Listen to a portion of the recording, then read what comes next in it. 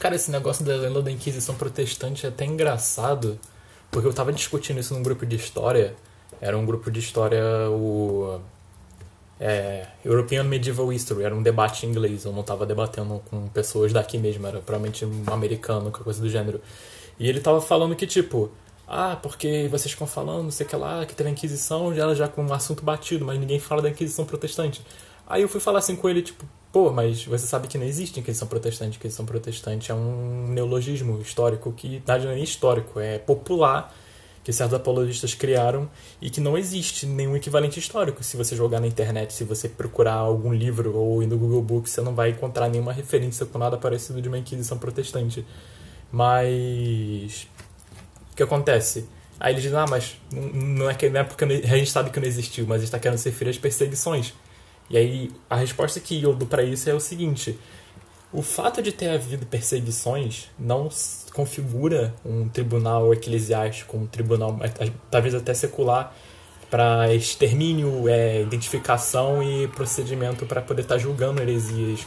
Isso é anacrônico. Se a gente fosse julgar qualquer, se a gente fosse é, considerar qualquer tipo de perseguição religiosa como uma inquisição, a gente teria que ter que considerar, por exemplo, coisas que acontecem hoje no na China ou na Coreia do Norte ou até mesmo no Tibete, que você tem o caso do país do Dalai Lama, onde tem perseguição religiosa, qualquer grupo religioso que não seja budista, como uma inquisição. E isso não pode ser considerado dessa forma, por motivos óbvios. Nem tudo é uma inquisição só porque teve perseguição religiosa. E praticamente a maior parte dos grupos na história, independente, tipo assim, até mesmo protestantes, eles venderam de certa forma perseguição. Só que a forma como você vai chamar essa perseguição, o nível de intensidade e a frequência é o que é o relevante. Não é porque, por exemplo, você tem, às vezes, nos Estados Unidos, como é muito comum dizer que existe um preconceito contra católicos nos Estados Unidos, você comparar isso com o que tinha na Espanha, onde as pessoas realmente eram jogadas na fogueira por manter crenças diferentes do que era estabelecido pelo Estado. E isso é muito diferente, entendeu? Aqui no Brasil mesmo, você às vezes você tem preconceitos, por exemplo, no pleno século XXI, contra as religiões de matriz africanas, e aí a pessoa diz assim, e a pessoa ah, não, você tem que comparar isso com uma, uma, perseguição de fato, ou seja, uma perseguição de jogar na fogueira, dela ser exilada, dela ser apedrejada, qualquer coisa do gênero. Então é errado você criar uma, uma simetria com esses dois casos que você teve de uma inquisição e de perseguições de qualquer outra forma que não sejam que configurem esses aspectos, que seja um tribunal ou qualquer coisa do gênero. E aí o que acontece? É, quando teve essa discussão sobre é, inquisição e perseguição religiosa, o que vocês têm que entender é quando a reforma, ela geralmente ela se estabelece na maioria dos países que ela se estabeleceu, é, que acontece? Geralmente existia uma igreja prévia ali, muitas vezes, quase sempre no caso era uma católica, e aí eles usavam a estrutura eclesiástica que existia nessa igreja e eles transformavam numa protestante. No sentido de que eles não estavam querendo. É isso, inclusive, era uma pauta defendida pelos reformadores, que eles não estavam criando uma igreja nova. Eles estavam retirando os erros das igrejas católicas que existiam naqueles países e instituindo uma naquela mesma estrutura reformando literalmente a igreja. Então você vai estar, por exemplo, é, rejeitando certas é, tradições em certas doutrinas extrabíblicas ou que contradizem essa doutrina, e isso vai estar sendo introduzido dentro desses países para criar uma, uma, igreja nacional, geralmente nacional, com esse, esse, sistema de que se aproxima ou que, é, que se aproxima do que é desenvolvido pela reforma. Mas não quer dizer necessariamente que porque o Estado acabou, ou menos ele mudou de religião, com uma religião que já existiu, seja as estruturas dos templos, etc., isso necessariamente significa que você vai empreender uma perseguição a nível de, por exemplo, matar, ou a nível de, por exemplo, você banir culto, embora em certos casos fosse comum. O que acontece geralmente, e isso varia de país para país, não é uniforme, é que os católicos nesses países onde foram, onde se tornaram protestantes, eles foram reduzidos a cerimônias de cultos privados. Esses cultos, geralmente, eles não eram considerados permitidos por lei, ou eles não eram, no caso, eles não eram considerados como uma religião reconhecida nesse sentido. Por exemplo, você tinha os judeus, os judeus eles praticavam, eles tinham templos, mas eles praticavam esses templos a cerimônia mais privada, só que não tipo de nível residencial ou domiciliar. como foi, por exemplo, o caso da Escócia, onde os serviços católicos, a missa, ela foi, ela foi somente banida, e aí parte da população, geralmente que vivia nas terras altas, que era mais conservadora, eles começaram a se reunir em casas. Só que lá, por exemplo, não tinha mais clero ordenado. Então você teve meio que uma forma indireta de um clero feminino dentro dessas igrejas residenciais católicas nesses países. Então, não é tipo assim, entendeu? Não é uma coisa. É o mais ou menos que acontece na Coreia do Norte. Na Coreia do Norte, eles têm uma igreja em Pyongyang, que ela é uma igreja católica, mas eles não têm clero ordenado.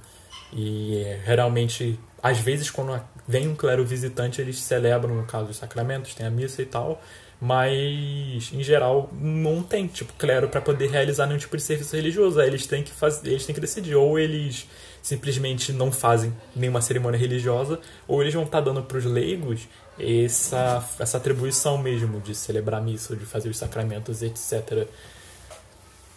Então, é assim, certos países, no caso, geralmente a maioria, eles reduziram o catolicismo a cultos privados, mas não existia necessariamente uma perseguição de forma nenhuma similar ao que acontecia dentro da Europa com países católicos. No máximo, geralmente era o que acontecia, que era um princípio que existia informalmente desde a Idade Média, e nada de antes mesmo disso, que se chama é, cuio regis, cuio fidis, ou seja, o monarca ou o príncipe, ele determina a religião que o povo vai seguir. E isso você pode ver desde os exemplos na conversão da Europa do paganismo ou do arianismo para o cristianismo católico, em que quando um rei bárbaro ele se convertia, toda a corte dele, todo o povo dele passava a seguir a religião, como foi o caso de Clovis, como foi o caso de Bluetooth na Dinamarca e de outros reis escandinavos, germânicos, etc. A conversão de um rei significava, pelo menos as pessoas tinham essa noção, não era uma coisa estabelecida por lei ou qualquer coisa do gênero, mas era um entendimento que se um rei se convertesse, a população geralmente ia seguir, e a nobreza e a corte também. E às vezes, mesmo em casos onde era é, permitido, no caso, religiões, é, outras práticas religiosas, como era o caso, por exemplo, da Transilvânia, quando o príncipe ele se converteu do, é, do catolicismo para o calvinismo, a maior parte dos cortesãos dele seguiu, virou calvinista também, e depois ele migrou para o unitarismo, que é a religião que só acredita que Jesus não é Deus, Jesus é a criação perfeita de Deus, ele não é, não existe trindade nem qualquer coisa do gênero, que geralmente foram os aprendizes de Serveto que sobreviveram e eles introduziram essa fé em outras partes da Europa, como por exemplo Itália, Polônia e Transilvânia, que foi onde deu certo. E aí no caso inclusive um sínodo unitário na Itália antes ou pouco depois da morte de Serveto, e aí eles meio que se organizaram para poder estabelecer uma religião mesmo, e essa religião ela foi exportada para outras regiões. E aí, no caso na Polônia vai ter o surgimento depois do, socini, do socianismo e de coisas semelhantes. Mas a questão é que, tipo assim, o rei geralmente, com essa questão principalmente da corte, da população, ele era entendido pela maior parte dos povos da época que se o rei se convertisse, a população se convertia. Mas não quer dizer que isso era regra. Tanto que mesmo que você vai ter casos de reis pagãos se convertendo ao cristianismo, o paganismo vai continuar sendo praticado. A não ser que ele chegue a instituir uma lei ou ele passe a ter tipos de políticas que sejam persegui é, que tratem de perseguição aos pagãos desses países. Como foi o caso, por exemplo, do, do Santo Olavo. Se não me engano, ele é da Noruega ou da Dinamarca que ele começou a ter essa política de perseguição, ele entrou em guerra com um, reis e chefes pagãos e acabou morto em uma batalha. Então, realmente tem que a pessoa ela tem que entender que no caso uma conversão de um país para uma fé ou mesmo uma repressão, ela não é necessariamente uniforme e ela tem que se analisar esses detalhes, como por exemplo a conversão do rei, os tipos de políticas religiosas que existiam naquela região e etc. Por exemplo, é, geralmente existiam países que eles tinham uma política de liberdade religiosa que ela, ela era estendida para geralmente vários tipos de credos, como era o caso da Polônia. A Polônia, apesar de hoje ela ser um país considerado conservador católico, tipo assim, majoritariamente católico, mais de 90% da população segue o catolicismo. Originalmente, por exemplo, antes da repartição da Polônia, só 60 ou 65% da população era católica, o resto era ortodoxa, protestante ou judia. 10% da população era judia e do que sobrava disso era de protestante ortodoxo na região. E eu não sei exatamente por que, que chegou a ter um aumento de católicos no, no país, Eu acredito que quando teve a repartição da Polônia e quando você teve, no caso, a de Ferro, você teve muita imigração. Então, o povo que ficou, ele era um povo mais, como é que eu posso dizer, unificado politicamente, culturalmente. Então, foi bem mais fácil você ter, tipo assim, uma unidade religiosa em lugares onde originalmente eles eram, eles eram plurais. E isso que é interessante do que porque tipo, geralmente quando uma pessoa ela quer falar de perseguição que os protestantes fizeram contra os católicos, ela geralmente vai estar tá apelando para diversos tipos de exemplos, assim, desconexos, como por exemplo, usar a guerra como um referencial de perseguição religiosa, quando você vai ter, por exemplo, casos onde como é que eu posso dar um exemplo? a Irlanda, na campanha de Cromwell na Irlanda, que você teve geralmente às vezes alguns massacres de guarnições em cidades ou em políticas que acabaram causando tipo assim mortes indiretas pela guerra como uma perseguição religiosa a par de uma inquisição. E isso é totalmente incorreto. Se a gente fosse colocar a guerra na, na, conta, a gente teria que botar todas as guerras que aconteceram na época, não só as guerras que os protestantes fizeram contra os católicos, que foram poucas, pouquíssimas, na verdade. Tanto que eles geralmente estavam usando o exemplo de pirata, cara de, tipo assim, se você falar ah, porque os ingleses e os holandeses eles eram exímios piratas, como o Vanderlei e o cara da Dalinho Puritano já chegaram a falar para mim, ah, porque os protestantes, a moral deles era uma moral de pirata, que ficavam saqueando a Espanha e Portugal. Mas todos os países que eles tinham uma marinha ativa, eles tinham pirataria. E Portugal não era exceção. Se você quiser um exemplo prático disso, o primeiro pirata da história a criar um código dos piratas, como você pode ver naqueles filmes, ah, um pirata tem um certo código de conduta. A primeira pessoa a tentar isso foi um pirata português, e o nome dele era Bartolomeu Português. Ele era um pirata que ele, ele existe, se não me engano, no século XVII em Portugal, e a função dele era basicamente pilhar navio de ouro e prata das Américas, que os, que os espanhóis traziam. Para você ter uma ideia, os próprios portugueses eles saqueavam os navios espanhóis justamente porque Portugal não era historicamente falando um pouco, nem um pouco próximo de um aliado de, de da Espanha. Portugal mesmo, ela foi a, a, a, aliança histórica entre países mais antiga do mundo é de Portugal com a Inglaterra, que é o tratado, é o tratado luso-português que começou em 1380, mas historicamente ele é um pouco mais antigo que isso. E o que acontece? Quando você teve a reforma, embora você tenha, no caso certo, uma diferenciação, porque os portugueses eles não passaram a é, permitir portu... protestante no país porque a Inglaterra virou protestante. Eles simplesmente mantiveram essas relações justamente porque elas uniam os países com uma aliança histórica e, no caso, com princípios políticos em comum. Em comuns. Tanto que, por exemplo, foi o que o Vinícius está até falando nos comentários, é, que dizer, ah, porque Portugal lutou contra as lutou contra os holandeses, lutou contra os ingleses, etc. Cara, não existe nada mais é, nacionalista português e, a, e, nada mais fiel à história de Portugal do que a aliança que Portugal teve com esses dois países. Menos com a Holanda, porque não existia uma conexão histórica com a Inglaterra. Mas se você tomar como, por exemplo, a independência portuguesa, como, a, a, Portugal como uma nação soberana, ela acaba em 1580 com a morte de Dom Sebastião na Batalha de Alcácer Quibir. Só que, quando ele foi sucedido por um irmão, um tio que era cardeal, que é o cardeal Henrique, e ele isso é coisa proibida, um cardeal não pode ser rei, mas eles abriram uma exceção, não sei porquê. E aí, como ele era celibatário, no caso não tinha ninguém para um herdeiro direto para o trono, então você teve três concorrentes para o trono, e um desses concorrentes era o rei da Espanha. E aí o rei da Espanha ele conseguiu apoio de uma outra pretendente, que era, era uma mulher descendente é, próxima de, do pai de Dom Sebastião. E aí, no caso, os portugueses eles foram subjugados pela Espanha em 1580 e o único partido que era que, era, que, que ia assegurar que Portugal ia resistir como uma nação soberana era o prior do Crato, que ele lutou na Batalha de Alcácer Quibir e ele conseguiu fugir. Não, na verdade ele foi ele se tornou prisioneiro de guerra e pagou o resgate. Aí ele voltou para Portugal. Quando ele perdeu a guerra civil, ele foi para a Inglaterra, ele levou 3 mil portugueses com ele e ele foi para a corte da época que era a Rainha Elizabeth, que geralmente a apologética católica costuma acusar a Rainha Elizabeth também ser uma perseguidora do catolicismo. E, cara, quando a Rainha Elizabeth recebeu o prior do Crato e depois teve, no caso, a invasão da Invencível Armada, etc., esses portugueses, esses 3 mil portugueses que ficaram assentados na Inglaterra, eles mais tarde iam participar da campanha que a Inglaterra fez contra a Espanha que foi a campanha que todo mundo nem todo mundo conhece, mas ela é conhecida na história inglesa, que foi a campanha do Francis Drake, que ele é até famoso, personagem de videogame, aquele do Drake's Fortune, etc. Ele invadiu é, lugares da Galícia, do norte da Espanha e Portugal. Além de propostas como quebrar a marinha espanhola e quebrar a economia espanhola que sustentava o exército espanhol, era botar o prior do Crato no trono de Portugal e tornar Portugal um país independente de novo. Então, quando às vezes eu vejo esses grupos, tipo Nova Portugalidade, etc., exaltando, ah, porque os ingleses eram nossos inimigos, a gente, a gente é, somos um povo irmão dos espanhóis, cara, mas os portugueses, historicamente, a identidade portuguesa, se você checar em livros nacionais, até estrangeiros, como o do eu esqueci o nome do autor, mas é The Portuguese in the Age of Discovery. Tem no Google Books parte dele. O autor ele vai dizer que a identidade portuguesa é forjada no anticastelhanismo. O que, que é o anticastelhanismo?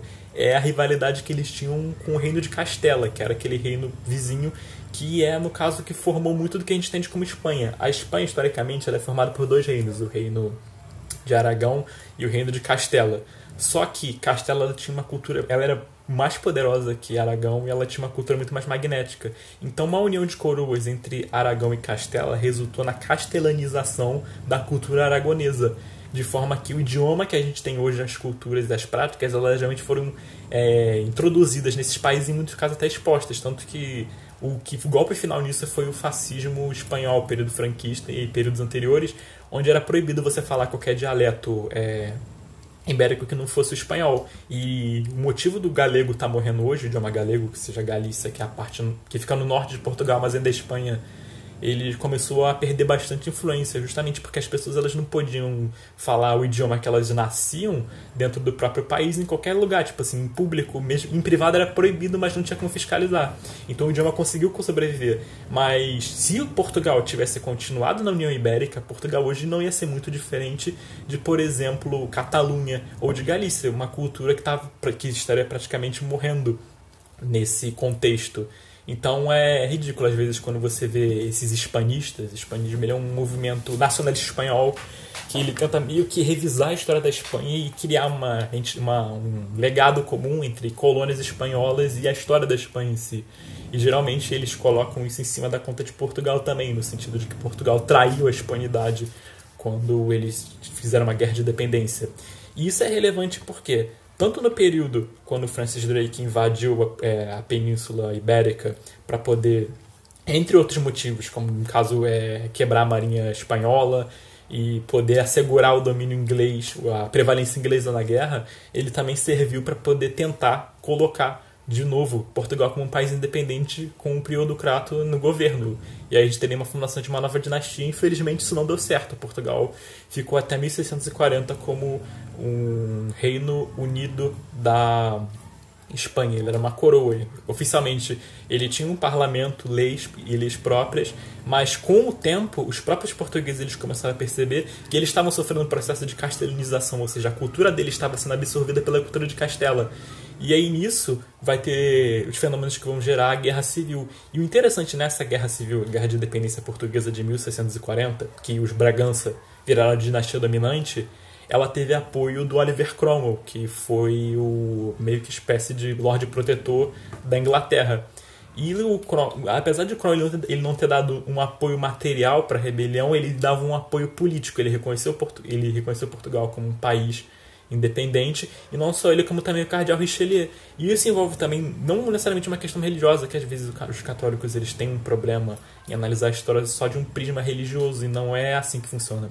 A França, sempre quando ela pôde, ela, ela tentou destruir a Espanha, porque a Espanha, a partir das guerras italianas, ou seja, por volta de 1500, mas oficialmente em 1515 e 1525, a Espanha era, uma, era a maior potência militar da Europa. A Espanha foi o primeiro país da história da Europa a ter um exército permanente.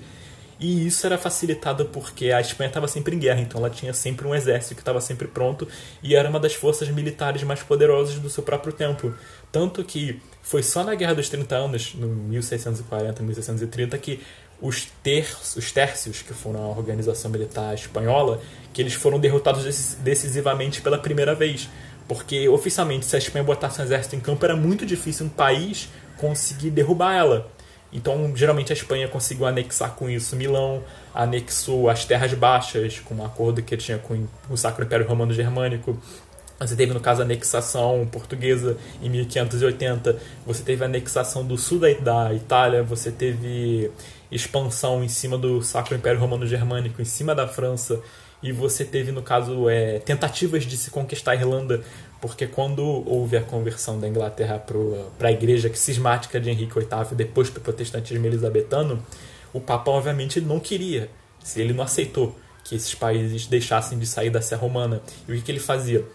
Desde o século, desde a reforma gregoriana, ou até mesmo antes disso, naquela das investiduras, se formou do papado uma teoria política dogmática no sentido de que o papa ele não tem só poder espiritual, o papa ele não é só o corpo, o vigário de Cristo na Terra, ele não é só o chefe espiritual de todos os cristãos, no caso, para a visão católica, católico seria a mesma coisa que cristão, do mundo, ele também tem poder político, esse seria o poder temporal dele. Então ele acumula funções temporais e funções é, espirituais. E esse poder temporal, ele, era um ele é um poder temporal, ele não deixou de ser, ele só não é praticado. Ele é um poder temporal que está acima de qualquer soberano da Terra. O Papa, pela doutrina católica, essa doutrina política, ele é o soberano do mundo. Existem soberanos é, pagãos, é, hereges e católicos espalhados pela face da terra, mas o Papa ele tem o poder de tirar essas pessoas do poder, em caso eles acreditam que Deus instituiu através do poder, das chaves, o poder de dar qualquer reino para quem ele quiser e tirar o reino de alguém que ele queira, que ele acha que a pessoa não deva ter esse reino. Isso, inclusive, foi o contexto da guerra das guerras italianas. Ele deu a coroa de Nápoles, que era um reino no sul da Itália, para a França e a França desceu com o exército para conquistar esse reino. E a Espanha, que tinha relações dinásticas com o reino da, de Nápoles, ela interviu querendo aquele reino para ela. Só que o Papa ele percebeu que não era muito bom ter o rei da França do lado dela, porque a França, quando ela chega na Itália, ela começa a fazer muita devastação. Porque na Itália você tinha uma cultura militar que era completamente diferente da, da França. A França ela saiu da Guerra dos 100 Anos com uma política de tratamento de prisioneiros que era basicamente de execução como eles perderam muito, e até Joana Dark tem um aspecto influenciador nisso, sempre que eles capturavam os inimigos, era basicamente exterminavam eles, matavam, cortavam a garganta, essas coisas. Enquanto a política militar, ética, na Itália era uma política de mercenários, que não, não era uma guerra que afetava a população. Você tinha os principados e repúblicas em guerra, esses principados contratavam mercenários, esses mercenários que viam a atividade deles como uma, uma, uma, uma, profissão, eles se juntavam, guerreavam, e era isso. A guerra acabou, alguém perdeu, a população não sofria diretamente com isso. Não tinha saque, não tinha massacre de população civil em cidade, nem qualquer coisa do gênero. Quando a França entra na guerra, ela introduz isso na Itália e o Papa fala assim: é, deu merda desculpa o palavrão aí, mas. E aí é, você tem, no caso, uma formação de um contexto que durou até 1550, até depois do Conselho de Trento, essas guerras italianas. E essas guerras italianas elas vão consolidar a Espanha como uma potência continental, da forma como se conhece hoje. E era isso, basicamente. É, Portugal ela não tinha como bater a Espanha militarmente, só tinha na marinha, mas a marinha portuguesa, a princípio, ela ela tinha limitações com relação ao seu número, a sua atuação, e como a invasão da Espanha foi por terra, eles já conquistaram o reino sem qualquer possibilidade deles poderem reagir na, de forma naval. E aí a Portugal, a, a marinha portuguesa passou a fazer parte da marinha espanhola, e isso acabou sendo ruim para Portugal, porque geralmente isso é inclusive uma crítica a essas pessoas dessa que criam uma espécie de uma ligação étnica e cultural com os espanhóis, porque a União Ibérica destruiu a, a Portugal como uma potência naval, uma potência imperialista. No caso, imperialismo antigo, que é imperialismo colonial e mercantilista, porque a marinha portuguesa foi completamente destruída nessas guerras que a Espanha fazia, porque como Portugal estava em união de coroas com a Espanha, todas as guerras que a Espanha fazia, Portugal também estava. Então, na invasão da Grande Armada, a marinha portuguesa estava presente, a marinha das Terras Baixas, que era a minha Flamenga também. Então, a Espanha vai desgastar os recursos e todo o potencial náutico que Portugal teve nessas guerras. E quando Portugal tiver a oportunidade de sair desse governo, ela vai, tá vai ter acumulado dívidas e a marinha dela já não vai ser tanta coisa. E ela vai ter perdido espaço para os espanhóis, porque o Tratado de Tordesilhas, que o Papa Alexandre VI ele, ele dividiu o mundo entre duas potências, ou seja, todos os territórios e todos os reinos e principados que existiam no mundo pagão e muçulmano, a partir da linha de Tordesilhas, no caso a África e Índia, eram de direito de conquista de Portugal, ou seja, Portugal oficialmente era soberano daquelas regiões. É justamente aquela teoria política do papado que eu tinha falado. E tudo que estava do outro lado era da Espanha, ou seja, as Américas. E isso é relevante é, porque oficialmente isso é como uma decisão do Papa, isso é meio que uma. É, não é como se fosse uma questão de ex-cátedra, mas dentro da, da, da, teoria política papal, mesmo que isso não, isso não seja considerado ex-cátedra, é uma, é uma decisão infalível, porque o Papa, ele, teoricamente, ele foi iluminado pela autoridade divina para poder fazer essa divisão. E não existia como você não fazer o contrário. Se o Papa decidiu que o mundo era de Portugal e da Espanha, dividido em duas esferas, era para obedecer. Só que quando isso aconteceu, e isso é inclusive uma das causas que eu vou tratar depois, questão do secularismo, a França foi contra. Por quê? A França disse que o Papa não simplesmente não podia chegar e dividir o mundo entre dois países. Eles, inclusive, falaram: ah, a gente quer o testamento de Adão. Por que, que o mundo tem que ser de Portugal e da Espanha? Que critério vocês usaram para isso? E aí a, a França vai se opor a isso e vai criar o seu próprio é, movimento. Mais tarde, a Inglaterra e a Holanda também vão entrar de colonização das Américas e de outras partes do mundo. Né? No caso, você vai ter no Rio de Janeiro, principalmente a colônia francesa em Guanabara, que era a França Antártica, e a colônia francesa em São Luís, no Maranhão, que também não deu certo. No caso, a colônia de Guanabara ela foi uma colônia que teve bastante influência da comunidade protestante, porque um dos principais almirantes da marinha francesa na época ele era o almirante Coligny, e ele se converteu ao protestantismo, o protestantismo calvinista, que chamava na França de Huguenote. E ele era um herói de guerra na França, e como eles estavam nesse projeto de, de conquistar terras e clamar para a coroa da França no além-mar, ele achou que seria interessante você criar uma espécie de um, uma região onde os protestantes não sofressem perseguição religiosa como eles sofriam na França. Então a ideia era trazer tipo assim pessoas que eram perseguidas por religião na França para Guanabara e eles iam fundar uma colônia que teria, se não fosse majoritariamente protestante, ela seria mais ou menos a convivência entre católicos e protestantes. E essa foi a, foi a intenção dele, mas obviamente não deu certo, porque o Tomás Durand de Villegagnon, ele começou, ele era amigo de Calvino, mas ele começou a discutir a questão da ceia e ele declarou oficialmente que tanto Calvino quanto a Igreja Católica eram hereges. Ele criou a própria visão sobre a Santa Ceia. E aí nisso ele começou a perseguir os protestantes. Ele expulsou todos eles da ilha, é, matou três que volta matou dois ou três que voltaram, atirou de, de um penhasco, caiu na água e morreu. E o que sobreviveu desses três que voltaram, ele mais tarde foi executado, se não me engano, pelo padre José de Anchieta, que agora é santo da Igreja Católica. Ele estava pregando, ele foi identificado e foi preso, e é, o padre José Anchieta inquiriu sobre a religião dele, e aí mais tarde botaram ele para ser condenado a ser enforcado. Só que, como, como tentavam enforcar ele, não conseguiram. Aparentemente, o executor ele não era muito habilidoso. E aí se conta de que o próprio José Anchieta estrangulou ele com as próprias mãos. E aí eu tava até vendo artigos sobre o, o catequista, etc., com relação a isso, eles vão criar um revisionismo totalmente ridículo a respeito disso, dizendo que, na verdade, ele só. É porque o executor não era habilidoso, então ele foi lá e ajudou o cara a ser executado de forma correta. Mas, assim, isso é completamente. E é absurdo porque eles também vão dizer que o cara ele foi convertido ao catolicismo antes de morrer pelo próprio Jardim Chieta. E eles, no caso, que ele foi morto porque ele era, ele era um invasor francês e não porque ele era protestante, só que ele não estava dentro de um contexto de invasão francesa e nem politicamente falando os portugueses matavam não portugueses simplesmente pelo fato deles estarem ali, ou seja, é uma colônia portuguesa a gente quer desse jeito. Os portugueses eles aceitavam qualquer tipo de colono de qualquer região da Europa, desde que oficialmente eles fossem católicos. Embora eu discuti com um amigo meu que ele é português, ele disse que talvez não tivesse existido essa proibição. Então, quando, por exemplo, Portugal retomou o Brasil dos holandeses, ele permitiu que certos holandeses ficassem. Quer dizer, qualquer holandês podia ficar no país, é porque eles precisavam de colono, mas que necessariamente eles não, eles não forçaram essa conversão para o catolicismo. Mas existe uma controvérsia, porque oficialmente, teoricamente, todo mundo devia ser católico. Então, eu preciso realmente estar tá focando mais nesse assunto para poder estar tá tratando. Bem um pouco d'água. E aí é basicamente isso, essa questão de a história política da Espanha e etc.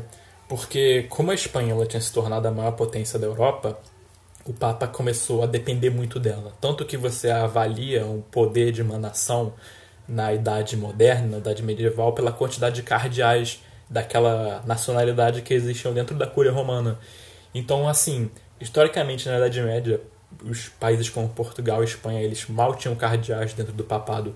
E quando você vai ter uma ascensão desses dois países a partir do século XV e XVI, Portugal vai ter um monte de cardeal dentro do papado, a Espanha também.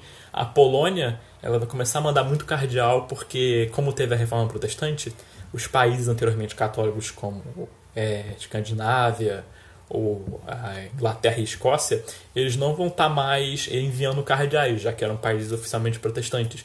Então o papado vai estar tá apelando para outros países que eram, que eram, como é que eu posso dizer, a segunda opção deles para poderem estar tá se consolidando. E no caso, em muitos casos, se foi a Polônia, isso foi países da Áustria, países não é a coroa, a coroa da Áustria, etc.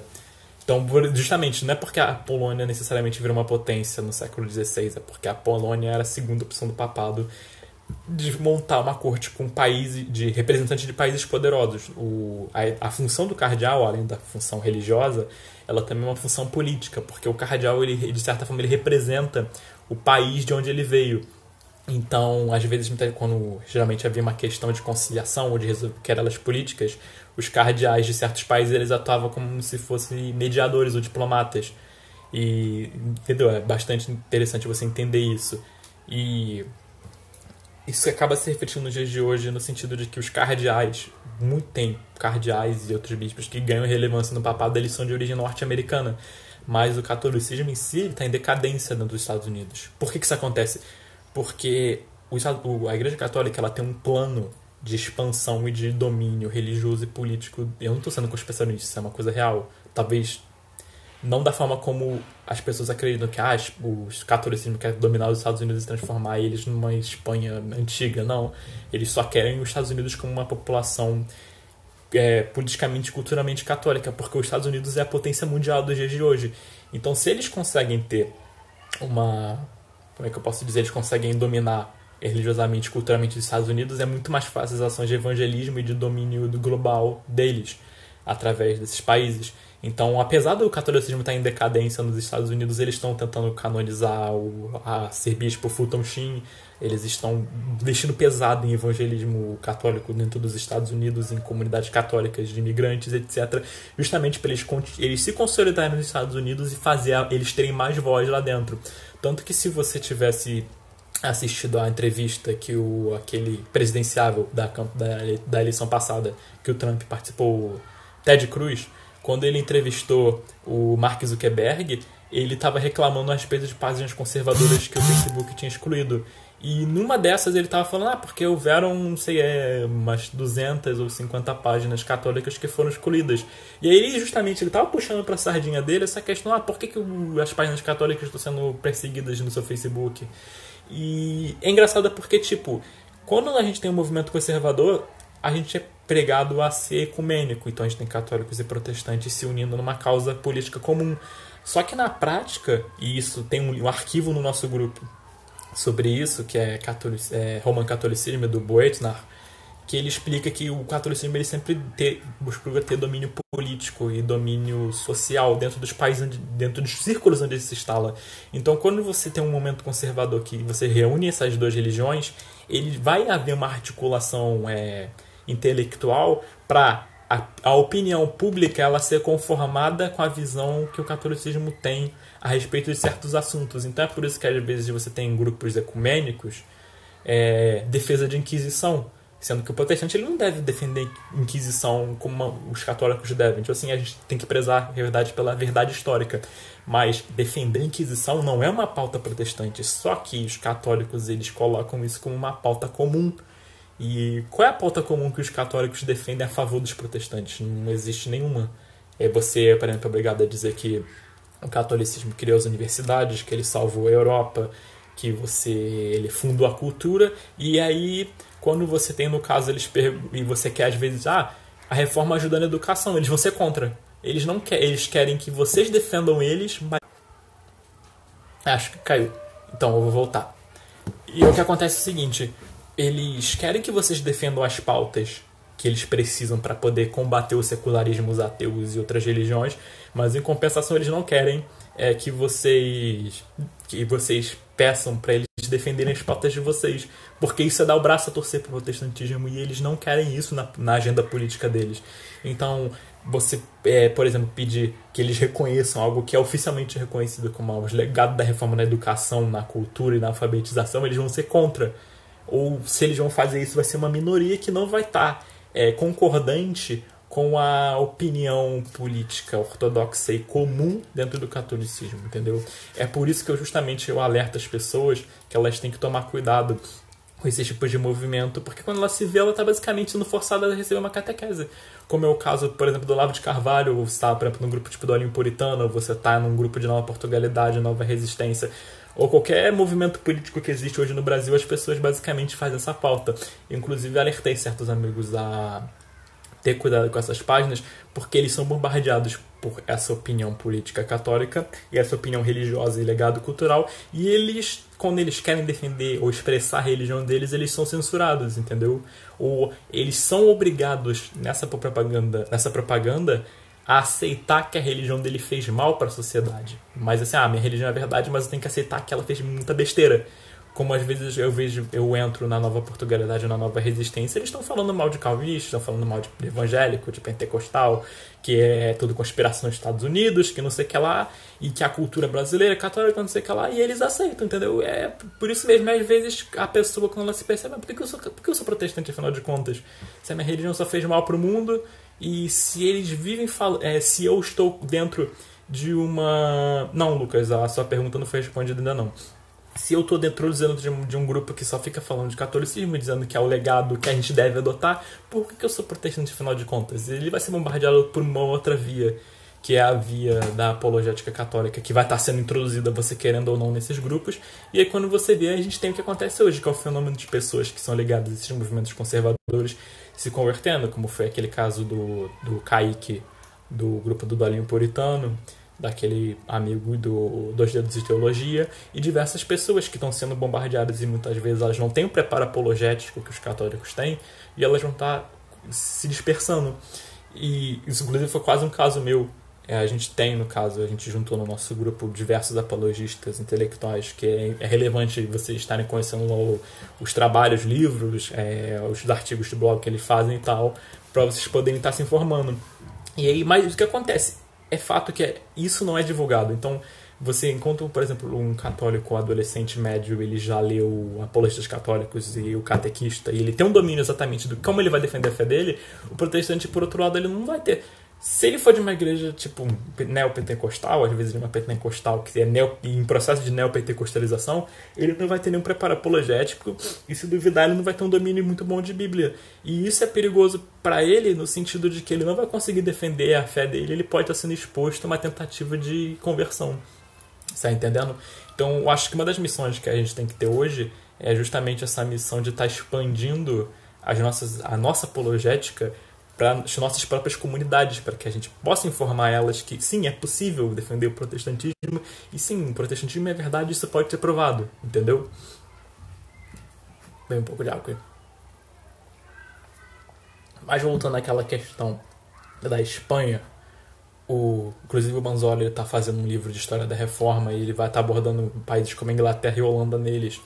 Esses livros são disponibilizados gratuitamente, então é bem interessante você estar tá lendo que no caso de quando você teve essa conversão da Inglaterra para o protestantismo ou antes com Henrique VIII com, criando uma igreja cismática, Henrique VIII não era protestante, Henrique VIII ele cismou com a igreja, mas ele manteve toda a doutrina e toda a cosmovisão católica. Ele simplesmente não aceitava que o Papa era o soberano temporal e, e religioso espiritual da Inglaterra. E aí e justamente por isso, o que, que o Papa vai fazer? Ah, tá bom, você não é mais rei, eu vou dar o seu reino para a Espanha. Porque a Espanha tinha, no caso, uns laços dinásticos com pessoas anteriores. Ah, no caso, tipo assim, o casamento, ele era casado com Catarina de Aragão. E no caso, o que acontece?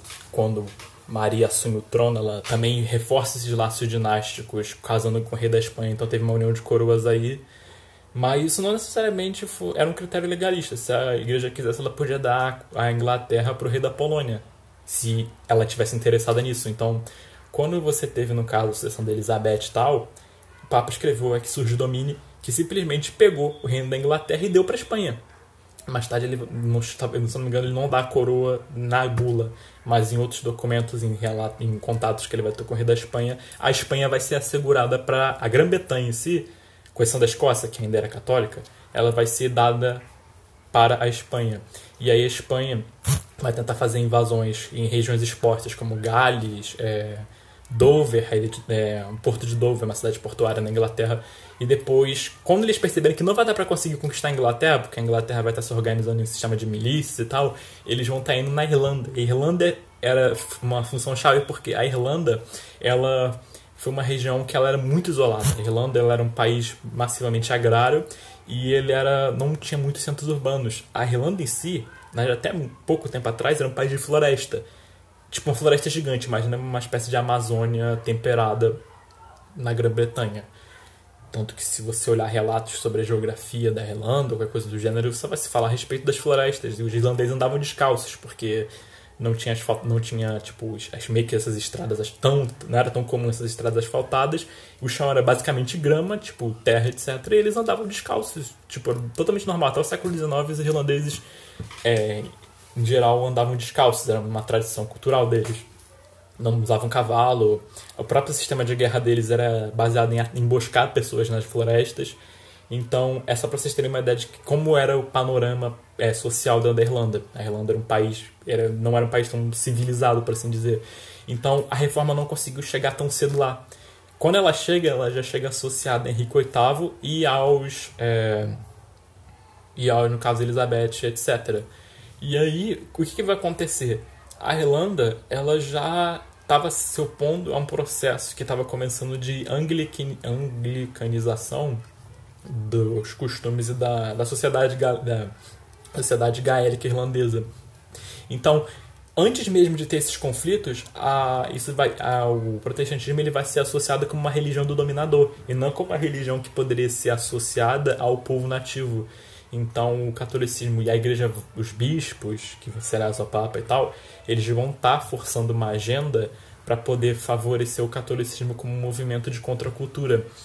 E aí o que acontece? Por mais que no caso a Irlanda tenha se comece a se estabelecer como uma nação com uma identidade católica a partir dessa época, eles vão estar tá dando o, o domínio deles para a Espanha. A Espanha vai começar a ter apoio, de, vai começar a vender armas para eles, vender todo tipo de equipamento. E a Espanha, no caso, ela pretende em muitos, é, se tornar meio que anexar a Irlanda dentro da União de Coroas deles. Pelo menos era o que estava tangível naquela época. A Inglaterra, ela não, como depois da derrota da Invencível Armada e de outras tentativas de invasão e de deposição da Rainha Elizabeth, a Inglaterra não vai ficar mais como um empreendimento rentável, ou pelo menos que era possível de conseguir.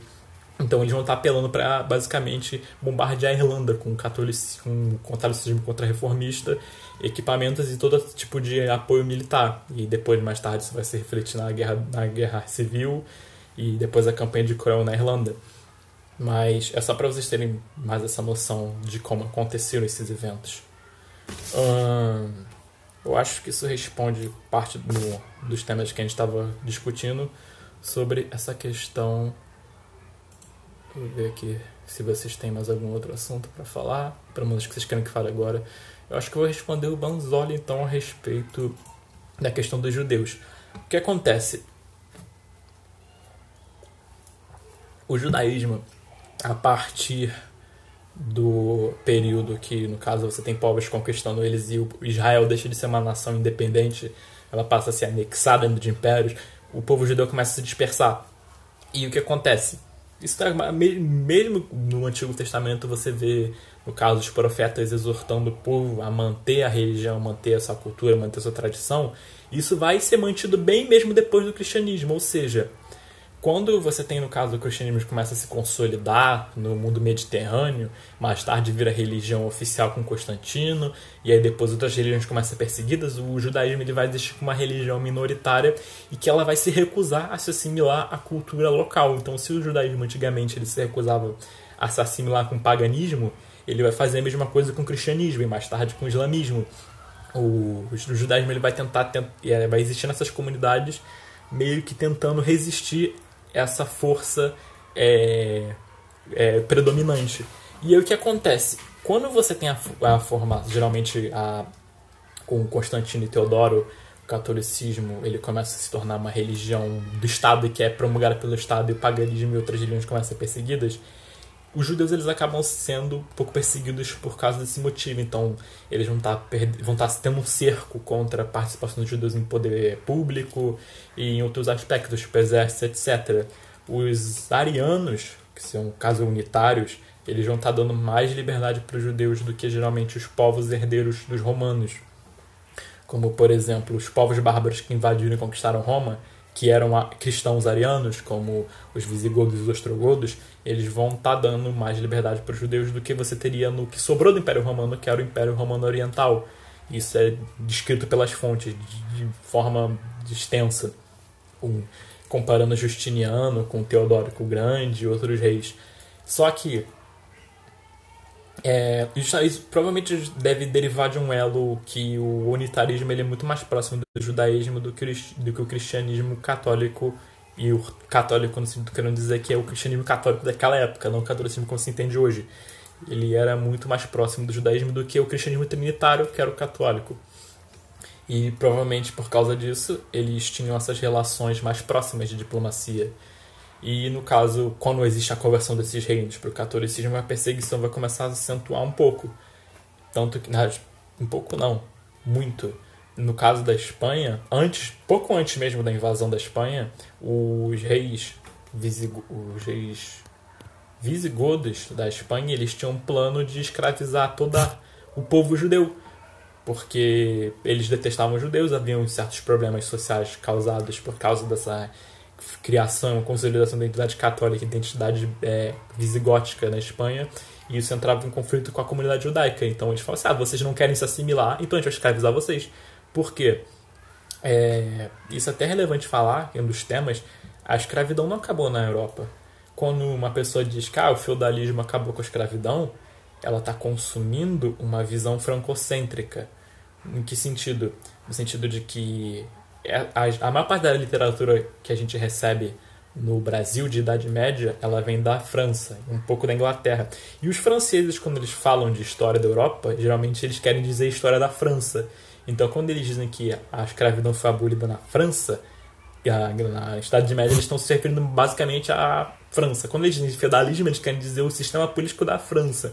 Quando dizem cavalaria, cavalaria no sentido francês. Então, existe, no caso, uma tentativa da academia hoje de tentar desvencilhar isso da nova formação de acadêmicos, esse francocentrismo que a gente tem. No caso, é, tentando explicar para os alunos, não, a pessoa está falando isso, mas ela está falando isso num contexto francês, entendeu? E coisas do gênero. E o que acontece? No caso, os muçulmanos eles vão conquistar a Península Ibérica, vão é, Aí vão impedir esse plano, não, não conscientemente, foi simplesmente uma coincidência que os muçulmanos terem invadido a Península Ibérica na época que os reis da Espanha visigótica tinham um plano de escravizar todos os judeus. E aí o que acontece? Os judeus, quando estavam nesse clima de perseguição diverso, eles vão ser receptivos aos conquistadores islâmicos. Isso não é exatamente um fenômeno isolado em toda a história da formação do Império Islâmico, ou seja, dos Rashidun, que eram descendentes de Maomé, etc., você tem os judeus sendo é, apoiadores ativos desse, dessas conquistas. E não só os judeus, como os heredes também, porque o Império Bizantino ele perseguia essas religiões que não eram, concordadas com o cristianismo católico. Só que você tem que entender o seguinte: quando a gente fala de Império Bizantino e cristianismo católico, ou seja, antes do cisma, eu vou tratar isso depois. Ele, o cristianismo católico do Oriente era diferente do cristianismo católico de Roma. O cristianismo católico do Império Oriental, ele, por exemplo, rechaça a primazia e supremacia papal em concílios no século VI já. É, é simplesmente pelo fato de ser uma não existirem tantos contatos religiosos de, e sociais entre essas igrejas por causa da distância geográfica, o papado ele vai desenvolver uma teologia completamente diferente da igreja ortodoxa, no sentido de que o papa, quando o Império Romano cai, ele não tem nenhum rei ou imperador para é, oprimir a autoridade e a liberdade dele. Então ele vai começar a desenvolver uma teoria de supremacia sobre políticos e sobre a igreja. A passo de que no Império Bizantino, como a autoridade do César estava consolidada, você vai ter o César papismo, ou seja, o imperador vai estar impondo a vontade dele sobre a igreja. E na Europa o contrário. Isso foi um acontecimento histórico mesmo. E assim, como eu estava dizendo, o, você teve esse, esse projeto no caso, e os muçulmanos eles vão estar dando mais liberdade para os judeus na Espanha. Só que é, a gente pode dizer que os muçulmanos eles foram mais tolerantes que os católicos.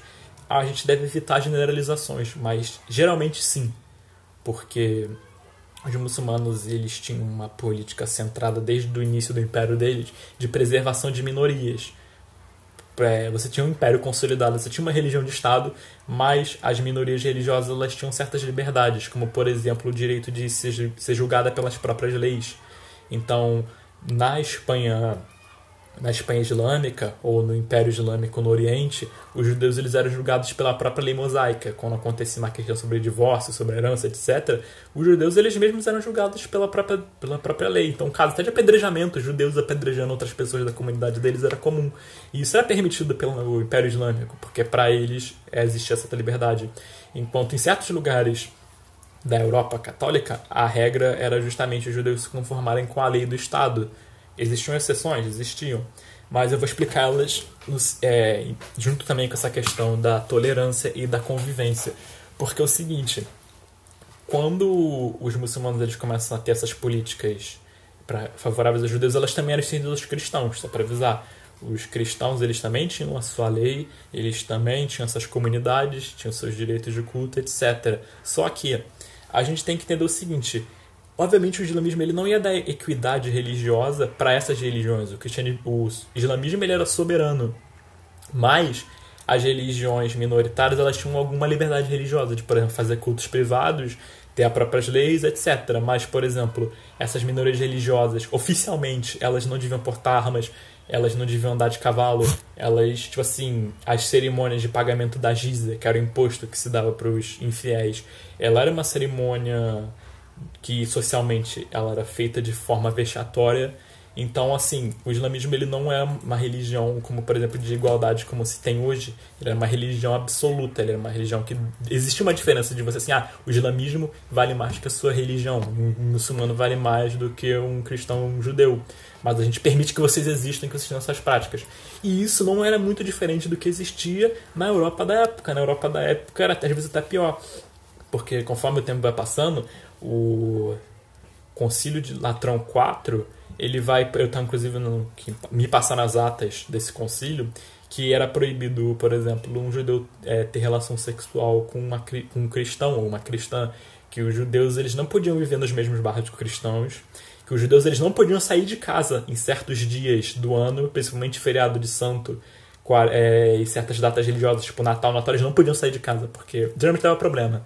Era como, inclusive, tipo assim, no Natal e na Páscoa, as pessoas associarem a morte de Cristo aos judeus que viviam lá. Então, as pessoas às vezes pegavam em armas e massacravam a população judaica. Então, não era necessariamente de todo uma medida segregatória. Às vezes também tinha um fundamento para proteger os próprios judeus. Mas, no geral, as comunidades católicas elas, elas perseguiam, elas davam muito menos direitos para as minorias religiosas que existiam no país delas do que o islamismo, mas isso não é regra.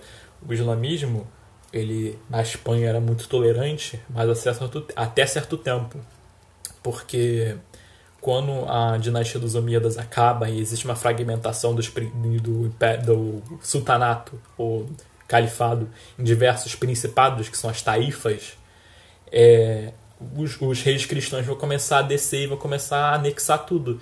E nessa época em específico, que é a época de fragmentação do Califado Omíada da Espanha, ou Califado de Granada, vai começar a ter um sentimento anti-judaico, ou antissemita, se você quiser chamar, muito forte na Espanha. Então você vai ter, por exemplo, poetas, que era, era o equivalente de um intelectual na Europa, é, criticando os judeus, é, fazendo a favor de extermínios, essas coisas. Então você vai ter, por exemplo, em 1066, um extermínio em Córdoba de duas mil famílias em torno de 2 mil famílias ou 4 mil ou 6 mil pessoas na cidade, porque os muçulmanos vão começar a massacrar a população civil que existia na cidade. E Córdoba na época era uma cidade muito grande, era uma das três cidades mais, era uma das três maiores cidades do mundo mediterrâneo. Os islâmicos eles eram muito poderosos, isso deve ser posto em mente. Eles criaram um império bastante rico e bastante poderoso. Bagdá era a cidade mais, mais populosa da Idade Média e da Idade Moderna por muito tempo. De 1 a 2 milhões de habitantes, entendeu? Então, às vezes, sei lá, a cidade mais populosa da Europa Católica era a França, de 200 mil habitantes. Então era bem diferente. E aí, isso é relevante para a gente estar tá tratando. Quando esse período acontece, o islamismo da região ele começa a ficar radicalizado. E vai ter um problema, porque na é, norte da África vão surgir doutrinas que vão, ser que vão ser associadas a certas facções políticas. E essas facções políticas que vão estar alinhadas com essas doutrinas que são fanáticas, elas vão tomar o poder no norte da África e o norte da África vai invadir a Espanha. Então, o povo, que, o povo islâmico que vivia na, na, na Espanha, ele estava sendo pressionado do norte pelos reis cristãos e do sul pelo radicalismo islâmico. Só que ou eles optam pelo islamismo radical ou eles são anexados pela autoridade cristã. Então eles vão estar optando justamente por estar apoiando esse radicalismo e eles vão estar sendo introduzidos e o próprio radicalismo dos, dos almorávidas, dos almohadas, etc., ele vai ser mais é, ele vai ser mais domesticado para não ser tão forte, mas ele não é igual à liberdade, à liberdade religiosa que você tinha anteriormente. E isso é relevante porque a comunidade judaica vai estar sofrendo tanto que eles vão preferir os reis cristãos do que o islamismo. E isso acontece porque quando você tem esse ambiente de liberdade religiosa e o catolicismo volta a tentar reconquistar aquela região, ele vai incorporar essa cultura da tolerância religiosa nas, próprias, nas suas próprias leis e na própria cultura. Então a Península Ibérica ela vai ser originalmente muito mais tolerante com judeus e muçulmanos do que seria na Europa, tipo França ou Inglaterra, que eram regiões onde você não conhecia nenhum muçulmano e as comunidades judaicas eram bem pequenas e elas eram bem demonizadas. E isso é o que a gente chama na historiografia mais consagrada de período de conviv lá convivência. Que no caso os cristãos eles vão estar tá incorporando medidas mais tolerantes com essas populações minoritárias, judias e muçulmanas. E até as outras populações, que existiam cristãos antes da Reconquista. Esses cristãos eles foram arabizados, que eram os moçárabes. E eles tinham um rito pré-latino, no sentido de que tipo, existia um cristianismo, no caso do Império, Império Romano Tardio e período da barbarização da Europa. E esse cristianismo ele vai ser um cristianismo local. O cristianismo católico, como a gente conhece hoje, ele é um cristianismo latinizado. Na reforma gregoriana, o Papa vai tentar é, levar a influência dele para o resto da Europa para acabar com a diversidade litúrgica, às vezes até doutrinária na região, porque fora tipo da França, fora da Itália, os cristãos eles simplesmente eles não consideravam o papado como uma instituição que liderava eles espiritualmente, como era o caso, por exemplo, da Inglaterra, como era o caso da Irlanda, etc. Então o Papa vai começar a impor esse cristianismo latinizado em cima do cristianismo católico anterior que existia nessas regiões. Então, por exemplo, ele vai apoiar o Duque Guilherme o Conquistador na invasão da Inglaterra. E a Inglaterra, que tinha uma igreja anglo-saxônica que era mais que era, não era exatamente católica latina, ela vai ser exposta ao latinismo. E aí, por exemplo, nessa época, o, o clero inglês existia, existia evidência de que existiam cleros casados. Mas com a latinização, eles vão começar a forçar o celibato clerigal, que era a regra no, na Europa Latina.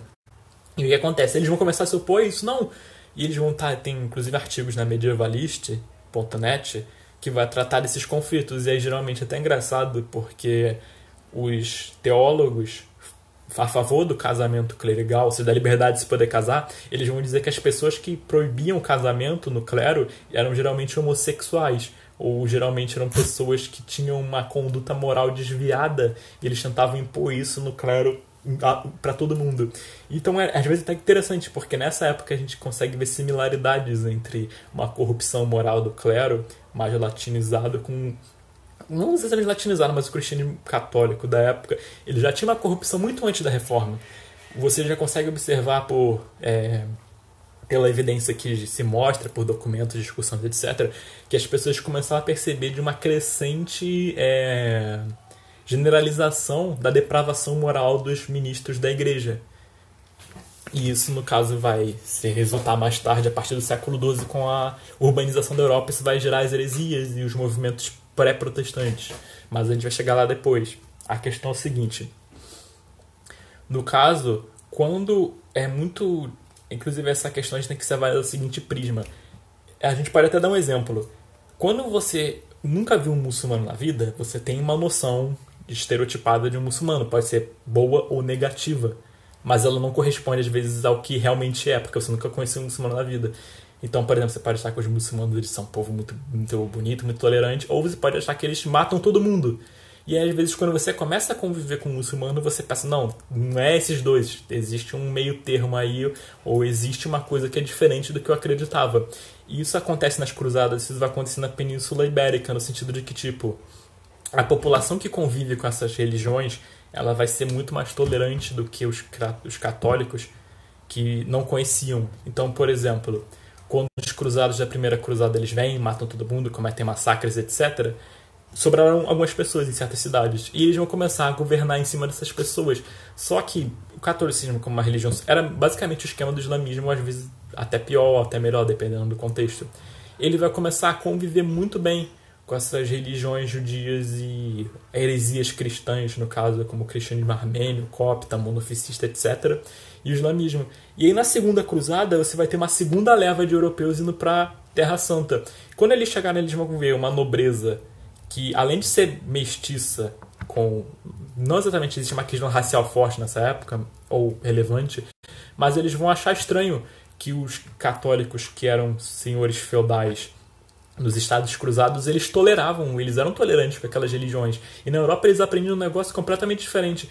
O, inclusive, tipo, existem registros históricos falando de que eles acreditavam que, que, os povos que moravam na Terra Santa eles se alimentavam de coração, eles bebiam sangue na Terra Santa, existiam demônios voando no teto das igrejas, que eles transformavam as igrejas em estábulos. Então essa pessoa, ela não existia TV nem nada, eles eram informados só por isso.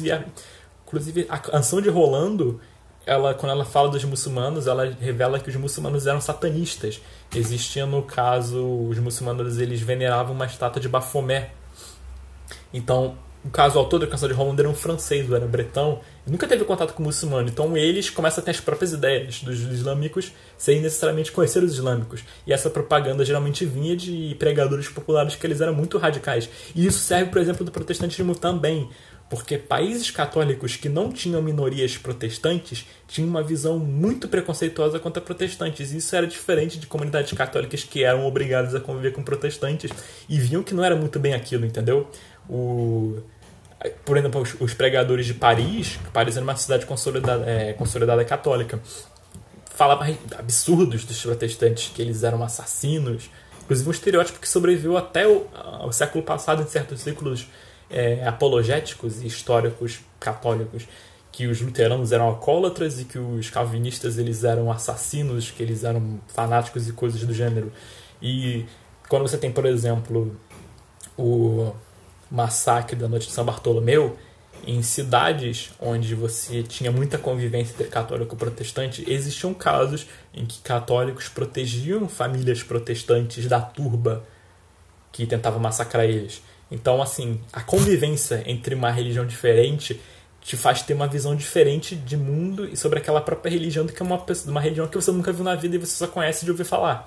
Então, o cristianismo da Península Ibérica ele vai ser mais tolerante com essas minorias. E aí, quando você tem ocasiões, por exemplo, a, a cruzada que gerou lá as lavas de Tolosa, que foi início do século XIII, quando os almohadas invadem a Península Ibérica e tentam reverter o ciclo da reconquista os cruzados franceses eles vão desertar da cruzada quando eles terem noção de que o rei de Castela ele é muito liberal com a população judaica que existia no país dele. Então ele fala, ah, a gente não vai mais lutar por vocês. Eles, literalmente, a maior parte dos cruzados desertaram. E os exércitos católicos eles tiveram que sobreviver na base das do, do própria, das tropas, tropas nativas. Não teve tanta ajuda externa, porque a maior parte da ajuda externa desertou. Então dá para você ver uma diferença entre como eles observavam o tratamento, entendeu? E a França, inclusive, ela, se não me engano, no, no final do século XIII, ela vai banir a comunidade judaica. A Inglaterra também. Então são reinos que não vão ter comunidade judaica. Vai ser inclusive pior, porque elas vão estar sendo muito mais é, intolerantes, tendo uma visão muito mais negativa sobre essa comunidade judaica do que comunidade, do que em regiões onde realmente existia uma comunidade judaica. E aí, tipo, essa convivência entre católicos e judeus em ambientes tipo Península Ibérica e tal, ela vai acabar inclusive dando mais liberdades do que a igreja deixava. O caso de Navarra, Navarra era o reino mais tolerante com os judeus da história da Europa e principalmente da história da Península Ibérica. Você não existia, você no caso não tinha é, uma proibição de que os judeus fizer, é, ocupassem cargos públicos. A maior parte da corte de Navarra era composta de médicos, é, astrônomos e astrólogos judeus. E no caso não, não existe nenhuma evidência de que os judeus de Navarra usavam roupa é, vexatória, que no caso o Conselho de Latrão IV ele proíbe que judeus possam ser confundidos com cristãos. Então os judeus não podiam viver num bairro cristão, não podiam se vestir como cristãos. Eles tinham que usar um chapéu vexatório, que era um chapéu pontudo, e uma cruz, uma cruz não, uma, uma estrela de Davi, que nem aquela estrela que os nazistas usavam, amarela, para poder distinguir eles de um cristão. Ou seja, o cristão dessa galera não é da minha religião, vamos se afastar deles, entendeu? Para manter essa cultura de segregação. E aí o que acontece? Em certos lugares, como por exemplo na Vale, isso não vai acontecer mas, conforme o tempo vai passando, é, isso vai estar sendo revertido. E é interessante notar que, embora a Espanha fosse mais tolerante com os judeus, ainda existia preconceito. Eu, inclusive, vou dar um exemplo. A Constituição Portuguesa, as leis portuguesas medievais, elas, por exemplo, a comunidade islâmica era protegida, no sentido de que, tipo, todos os, é, existia escravidão na Península Ibérica, isso nunca acabou. É isso que eu tô querendo dizer, tipo, Inclusive, é, é, era proibido escravizar, escravizar cristãos, mas existia, existiam muçulmanos e existiam judeus naquela região. Então, por que não escravizar essas comunidades, sendo que a escravidão sempre foi comum na Espanha no período romano, no período bárbaro e no período de cristianização. Então, para eles era completamente normal escravizar, nunca existiu nenhuma proibição ou qualquer coisa do gênero. Só era proibido escravizar cristão. E geralmente até em definições um herege podia ser escravizado, então aconteciam casos desse gênero. É, os muçulmanos, existiam dois tipos de muçulmanos na, em Portugal, os muçulmanos livres e os muçulmanos escravos. Os muçulmanos escravos eles eram uma propriedade de uma pessoa específica. Os muçulmanos livres, por outro lado, eles eram escravos do rei. E em que sentido? O rei ele era meio que o senhor de todos os muçulmanos de Portugal. Eles eram uma minoria protegida nesse sentido, ou seja, você não pode tocar no muçulmano porque o muçulmano é, abre aspas, o escravo do rei. Então isso era, uma, de certa forma, uma medida para proteger os muçulmanos e para não colocar eles em estado de equidade como os cristãos. Os cristãos, eles eram, nesse sentido, eram as únicas, uma população livre e os muçulmanos eram uma população, abre aspas, escrava, uma população subjugada.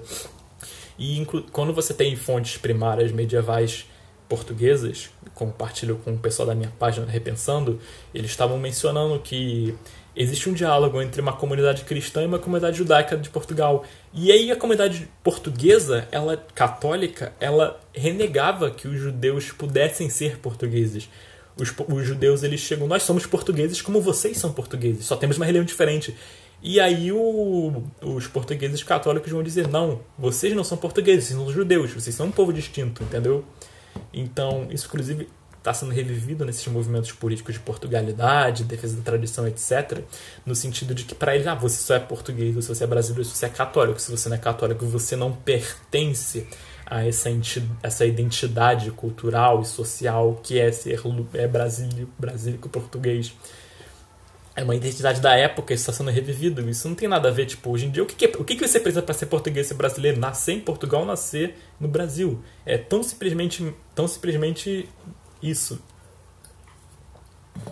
E aí, nesse sentido, havia um antissemitismo, só que era um antissemitismo muito menor do que você tinha em outras partes da Europa. Por exemplo, os judeus eles tinham a oportunidade de servir no exército, certas condições. Eles não eram iguais aos cidadãos cristãos, mas eles, por exemplo, podiam portar armas, eles eram proibidos de ter armaduras.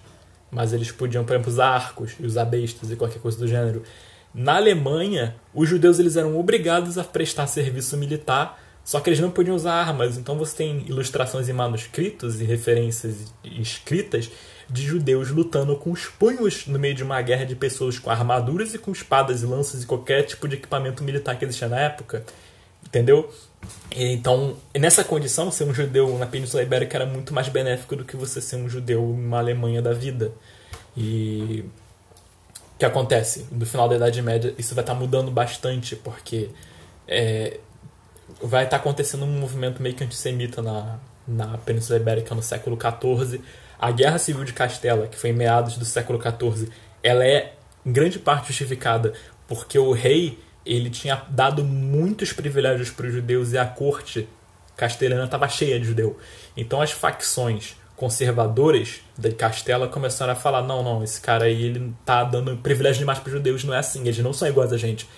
E aí eles vão estar tá se opondo ao rei. Inclusive era comum na Península Ibérica você difamar uma pessoa dizendo, na Idade Média, antes da Inquisição, dizendo que ela tinha ancestralidade judaica. Então, o Fernando de Castela, o rei católico casado com Isabela, ele foi difamado dizendo que ele tinha ancestralidade judia. Diversos reis castelhanos, aragoneses, até alguns portugueses, eles eram difamados dessa forma. Não, aquele cara ali ele, não é, ele tem sangue judeu. Isso era, isso era, de certa forma, vexatório. Mas era, tipo assim, era nível de boato. E a corte, você tinha imunidade, você tinha certas pessoas que eram contrárias ao poder real, inimigos, meio que a oposição. Então eles simplesmente é, ou criavam ou eles fomentavam esses, esses, essas histórias. Ah, que não, o filho do rei é bastardo, ele não é um filho original. Como foi no caso de Castela, no meados do século XV, dizendo que o filho de Henrique, o impotente, ele não era filho do Henrique, ele era filho do guarda-costas amigo dele, que ele, ele embuchou a rainha, e aí era o Beltrán, e aí no caso a filha dele, no caso, ela não era de verdade a filha dele, era uma, era uma bastarda, fruto de uma relação é, adúltera. E hoje, pesquisas genéticas elas provaram que sim, a Beltraneja, como ela era chamada, ela era filha do rei. Mas isso foi o suficiente para causar uma guerra civil entre os apoiadores da Isabela, que era no caso contrários ao poder da coroa, e a facção que era mais que era legalista, que era que lutava a favor do rei. E para vocês terem uma noção nessa mente que essa questão judaica ela era relevante sim, o irmão da Isabela, que no caso era o irmão mais velho, que seria meio que o sucessor no trono, ele foi morto sob condições estranhas depois de que ele começou a defender os judeus de certa cidade, porque os apoiadores é, dele eram bastante é, contrários, eram, perseguiam judeus, extorquiam dinheiro dos judeus, e ele falou assim, não, não, isso não é legal, os judeus eles são, eles são súditos do rei, então eles têm que ser tratados de forma justa ele morreu sob condições estranhas, provavelmente envenenado, entendeu? Então, é, essas questões assim têm que ser levadas em, em consideração. E aí você tem um surgimento do antissemitismo na Península Ibérica e com isso é, você vai mais tarde ter o surgimento da Inquisição. A Inquisição ela foi criada em 1480 para poder combater as comunidades que eram criptojudaicas. Por quê? Em 1390 começou a ter uma perseguição tão forte na Espanha que muitos judeus, para escaparem dessa perseguição, eles se convertiam. Tipo assim, não, não, vou ser batizado, vou me tornar cristão. Só que o judaísmo talmúdico, era justamente dos sefraditas, ele permite você fingir uma conversão para se escapar de, de uma perseguição. Então era bastante comum eles se converterem e praticarem a religião deles em segredo ou voltarem para o judaísmo. E para o catolicismo, quando uma pessoa ela apostasia da religião católica, ela pode ser julgada por heresia e apostasia. Então a Inquisição ela vai ser criada justamente para poder estar tá perseguindo essas comunidades que eram que eram judeus convertidos, mas supostamente praticavam ou não a sua religião. O protestantismo e as heresias elas não foram na época um motivo para a criação da Inquisição. A única exceção foi a Inquisição de Portugal no século XVI, que eles criaram uma inquisição e o rei de Portugal disse que ele queria uma inquisição para poder perseguir os protestantes, mas não existia uma comunidade protestante grande em Portugal. Ele fez isso porque ele queria perseguir os judeus e porque ele tinha benefícios perseguindo os judeus. Então ele meio que inventou uma desculpa, já que era o Concílio de Trento e era um período contra-reformista. Então era muito simples você conseguir uma inquisição. Então, essa questão dos, dos judeus acho que eu já deixei bem claro. É, você tem geralmente certas comunidades católicas com mais liberdades, outras com menos, mas no geral os muçulmanos eles costumavam ter mais liberdade religiosa e era uma liberdade religiosa que também favorecia é, grupos cristãos não católicos, como ortodoxos e protestantes. Eu vou dar um exemplo. No século XVI, é, a partir da Batalha de Mohacs, a Hungria foi subjugada no Império Otomano, com exceção de uma parte que ficou junto com os Habsburgos. Os Habsburgos eles eram a dinastia de Charles V. E o que acontece? É, isso é 1525, que é a Batalha de Mohacs, coincide com a introdução da reforma na Hungria. E com uma Hungria otomana, o protestantismo ele podia se, se podia se espalhar sem nenhuma perseguição de parte de católicos e isso aconteceu de forma que 90% da população, de 80 a 90% da população da Hungria se tornou protestante e isso é muito porque a gente está falando de um caso, geralmente dizem, ah, porque a reforma deu certo porque teve uma imposição do governo. Você tem diversos casos uma, onde o protestantismo virou uma, a religião da população, embora o governo não seja protestante.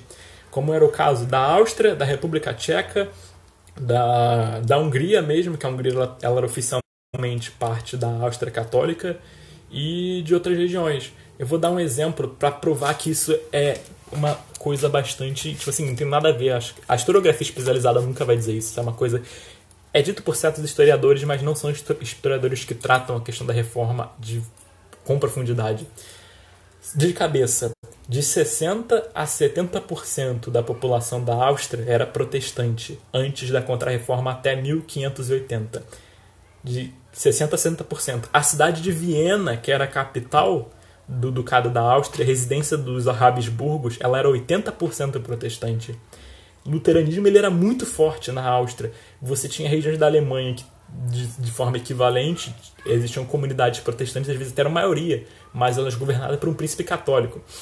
E comunidades, no caso, é, em outras regiões, a República Tcheca, que antigamente era Boêmia, ela era 85% protestante mas isso também se deve ao fato de que no século XV teve o rusitismo, quando o Rus, um pré-reformador, ele ele defendeu as doutrinas, combateu a venda de indulgências, tinha desde essa época, não foi, o Tetzel não inventou as indulgências. É, ele, e aí o povo da Boêmia aderiu massivamente ao rusitismo, e no caso, mesmo eles sendo subjugados, o rusitismo ele era uma religião relevante. Então quando veio a reforma, teve essa passagem para o luteranismo foi a religião que a maioria seguiu, e depois pro calvinismo, e um outro grupo que manteve uma espécie de um grupo rusita anterior mesmo. Mas a grossa maioria era protestante.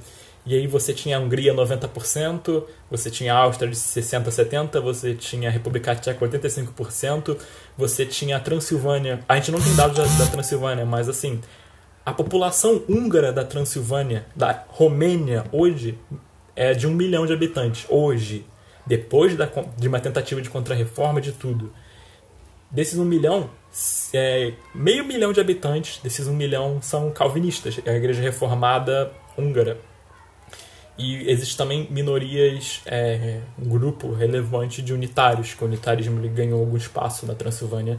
E o catolicismo praticamente desapareceu existiam comunidades da Hungria e na, na Romênia que eram os saxões, que eram imigrantes alemães desde a Idade Média que se estabeleceram naquela região, falavam alemão, etc.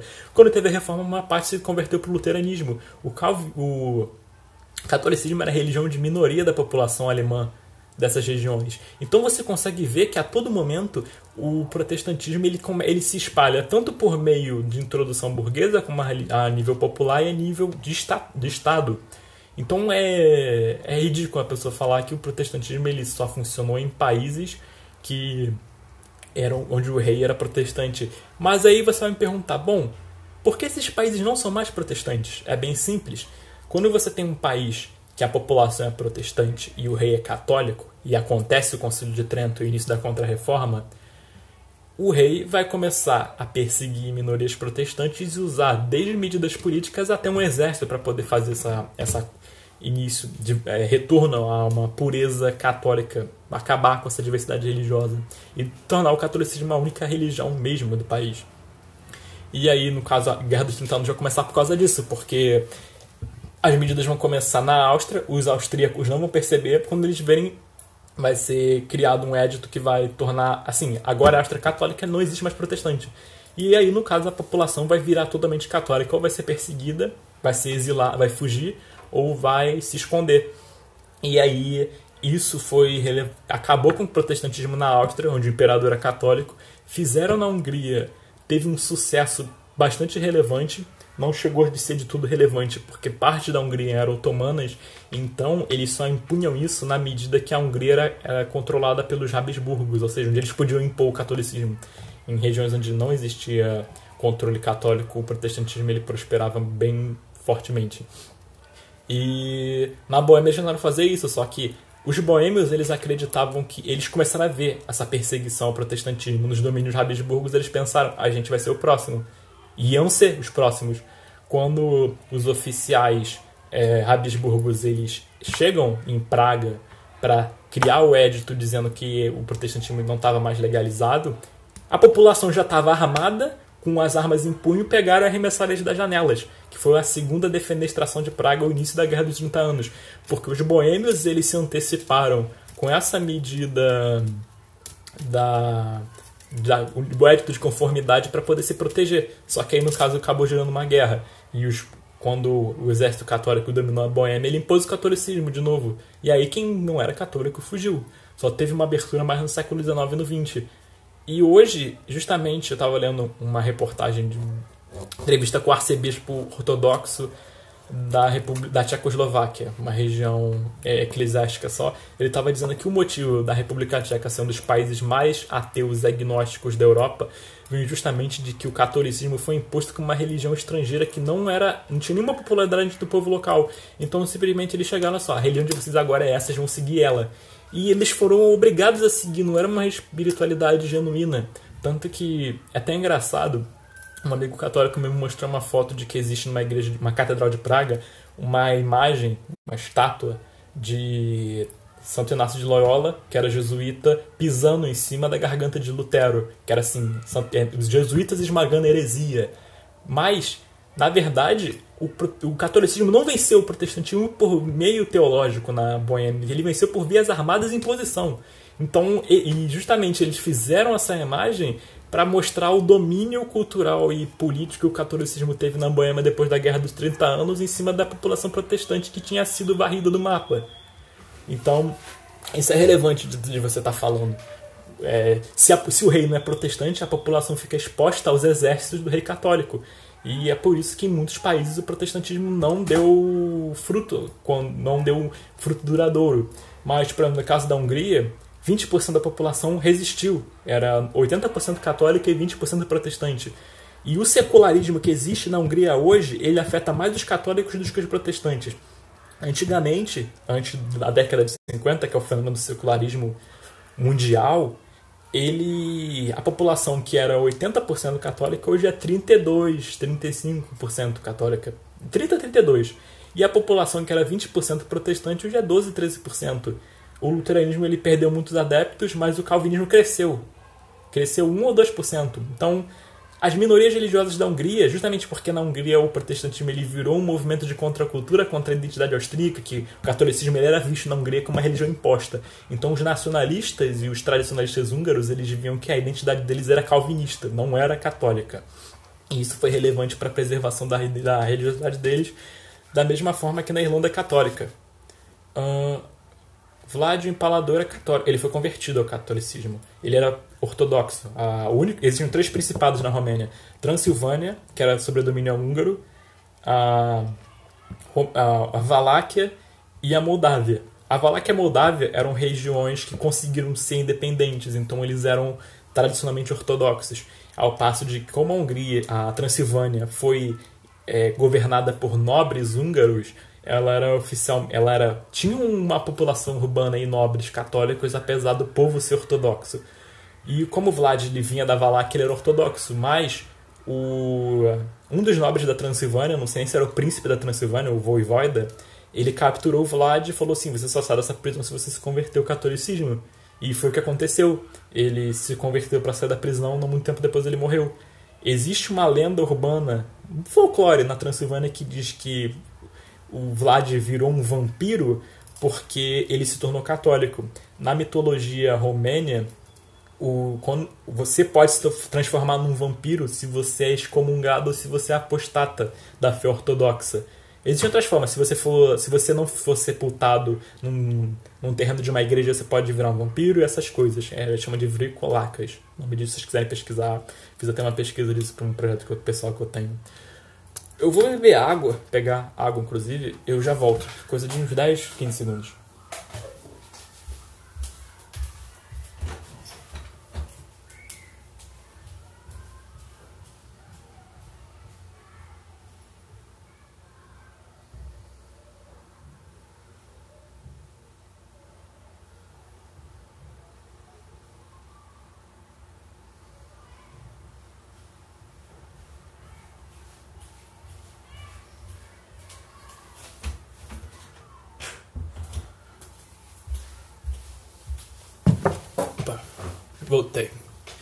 Então, como eu estava dizendo, essa questão de minorias protestantes em países católicos.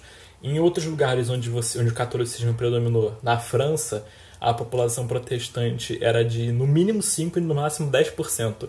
Ou seja, existia um milhão de huguenotes na França no período que iniciou a perseguição até o período que acabou a perseguição, que ela se concluiu, que foi a expulsão dos Huguenotes no período de, de Luís XIV. Nas Terras Baixas era 10 ou 20% também. E aí você teve essa perseguição. E é relevante falar nas Terras Baixas que teve uma inquisição nas Terras Baixas. Eu estava pesquisando isso. Os tribunais de sangue, que é o termo que os holandeses chamam, o período espanhol que causou a Guerra dos 80 Anos, ele era na verdade uma inquisição. Existia um grão inquisitor que ele era nativo e existia uma inquisição das terras baixas que começou a perseguir muita gente. E, inclusive existiam diferenças, por exemplo, os homens eles podiam ser queimados na fogueira, mas as mulheres eles enterravam vivos, vivas. Então não é exatamente tão uniforme nesse sentido como a Inquisição da Espanha. E em carta, o rei Felipe da Espanha ele diz que a Inquisição das Terras Baixas era pior do que a Inquisição que existia na Espanha se eu não me engano, em um período muito curto eles mataram milhares de pessoas. E isso novamente, e não eram só protestantes, porque eles achavam que, a, que na população existia uma sinergia nas terras baixas entre a população católica e a população protestante, calvinista das terras baixas. Eles geralmente conviviam razoavelmente bem. Mas quando os espanhóis eles chegam na, na região, eles não conseguem entender como o povo católico ele era tolerante com os protestantes, especialmente os, os condes e os reis, não existia rei, mas era mais senhores feudais e a população urbana católica era tolerante com minorias protestantes, porque a Espanha ela vinha de um contexto intolerante. Então, quando eles veem os nobres protegendo protestantes ou tolerando eles, eles dizem: esses nobres católicos são traidores. Então eles vão perseguir não só os protestantes, como católicos que não eram fanáticos como os espanhóis, que eram católicos que abrigavam refugiados protestantes, que eram católicos que protegiam protestantes, ou simplesmente um católico que era tolerante com uma comunidade protestante, entendeu?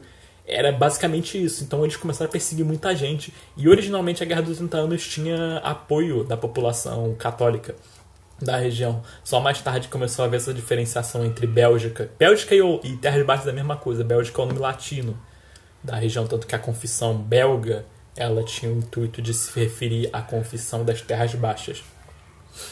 E você teve essa separação. Os espanhóis tentaram a todo custo tomar os holandeses os holandeses fizeram de tudo para eles não serem conquistados. Eles só conseguiram salvar metade praticamente da, das terras baixas. Eles conseguiram ter um governo independente, que no caso teve a poder Inglaterra. E é interessante porque no início dessa chamada eu disse que os é, que os portugueses eles eram aliados dos ingleses e um pouco dos, dos, holand, dos ingleses e dos holandeses. O Priodocrato, ele, teve, ele tinha filhos. Os filhos do Priodocrato lutaram na Guerra dos 80, dos 80 anos a favor dos protestantes holandeses, lutando contra os espanhóis. E existiam tropas portuguesas na Guerra dos 80 Anos, lutando pelos holandeses contra os católicos espanhóis. E em grande parte isso era motivado por questões políticas, porque os portugueses eram inimigos dos espanhóis, que eram eles tinham anexado Portugal e a maior parte dos portugueses não queria isso. Então é errado também você simplesmente falar, não, porque os católicos, é, como, como a visão desse pessoal a crer, que era tudo num prisma, católico e protestante. Existiam católicos que favoreceram protestantes e é, como era o caso, por exemplo, da França. A França ela perseguia protestante, mas ela financiou a Suécia luterana na Guerra dos 30 Anos. Por quê? Porque a, tanto a Espanha quanto o Sacro Império, eles eram da dinastia Habsburgo. Às vezes, e antigamente eram governados pelo mesmo rei. Então, tanto do lado ocidental quanto do oriental, além do sul, porque Milão era posse da Espanha, a França ela estava politicamente cheia de inimigo nos arredores dela. Então ela começou a financiar a Suécia protestante para poder enfraquecer os Habsburgos, para ela poder respirar e para poder projetar um domínio dela contra esses inimigos. E eles eram da mesma religião. Tanto que a história de Galileu Galilei, eu estava lendo um historiador a respeito disso, o motivo, um dos motivos do Papa ter prendido e julgado Galileu na Inquisição foi que o, aquele Papa ele tinha sido extremamente desmoralizado, porque não era só a França que era contra os Habsburgos. O papado ele tinha um território, estados papais. Era uma região que, bem grande no meio da Itália. E o Papa ele estava rodeado de inimigo Habsburgo também. Apesar dos Habsburgos lutarem pela Igreja, a Igreja tinha interesses territoriais na Itália. E esses interesses eram conflitantes com os interesses dos Habsburgos. Então, na Guerra dos 30 Anos, um Papa vai ajudar os protestantes contra os Habsburgos. Só que muito dos cardeais e muito da Igreja vai achar isso escandaloso, como um Papa pode ser contra o povo que está lutando pelo catolicismo numa guerra de religião. E aí ele vai ser muito desmoralizado. Aí quando ele, ele vai procurar uma oportunidade de lutar pela sua ortodoxia. E essa oportunidade vai ser com Galileu. Quando o Galileu fizer uma besteira, ele vai falar, não, vem cá, vou te mandar pra cadeia se você não. Se você não é, mudar a sua postura. E deu certo. Ele resolveu parte das críticas que ele recebia com relação a isso. Então é isso, não geralmente confundir todo país católico era contra protestante, existia muita questão política por trás disso a França financiou os luteranos. França não, ela era, apoiava militarmente os, os luteranos na Alemanha, apoiava certas comunidades na Suíça e apoiou a, é, em certos aspectos lutas. Qualquer inimigo que fosse Habsburgo ela estava apoiando.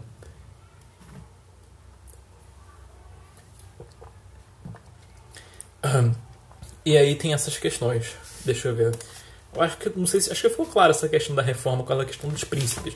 Os príncipes eles geralmente não vou dizer que existiram regiões onde elas foram impostas de protestantismo da noite para o dia, mas no geral isso era exceção. A regra era uma, uma introdução gradativa, uma progressiva do protestantismo, tanto que dos príncipes que se converteram ao protestantismo, o primeiro se converteu oficialmente, publicamente, em 1524, que foi o príncipe de Hesse, que era um condado magno, minúsculo no meio da Alemanha.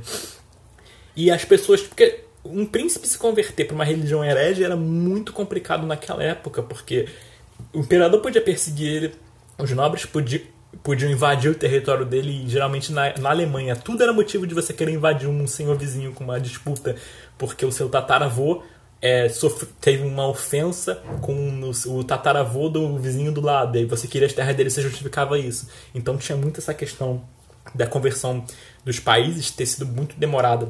Então a gente pode dizer que a conversão para o protestantismo ela não aconteceu numa população onde o protestantismo não existia. Só que o protestantismo ele já era consolidado e geralmente esses príncipes eles iam progressivamente é, estimulando. Ou eles toleravam a princípio ou então eles já iam é, introduzindo essas reformas litúrgicas, essas reformas doutrinárias até o ponto que houve uma reforma total na igreja. Como foi o caso, por exemplo, da Dinamarca, como foi o caso de certos principados, é, por exemplo, o marquesado de Marburgo, de Brandemburgo e etc. Então, assim, se a reforma tivesse que depender dos príncipes para dar certo, ela teria morrido, porque a reforma foi em 1517 e foi oficialmente condenada em 1519 e Lutero em si foi julgado pela corte imperial em 1520, que seriam no caso quatro anos depois do primeiro príncipe se converter. Então, o protestantismo ele, ele já era é adepto de, da, popula, da população em si, da Alemanha do norte da Europa, e mais tarde se expandindo. Essa história dos príncipes é simplesmente um discurso maniqueísta ou até uma metodologia materialista que diz que as pessoas não fazem nada se elas não tiverem uma motivação financeira por trás. Isso é errado. Quer dizer, se, se todo mundo faz alguma coisa para uma motivação financeira, então nobres que se mantiveram católicos fizeram isso para uma motivação financeira. E existiram casos, isso é verdade, mas não são todos. Existiram príncipes protestantes que se converteram por causa de expropriação de mosteiro? Sim, mas não foi só por isso. E não quer dizer que isso tenha sido um motivo relevante para todas as conversões de principados. Não, como o caso da Dinamarca, se eu não me engano, eles converteram o país, mas o catolicismo ele tinha sido inicialmente ele era os mosteiros eles foram preservados. A lei era os, os, ninguém vai tocar nos mosteiros até o dia que o último monge morrer.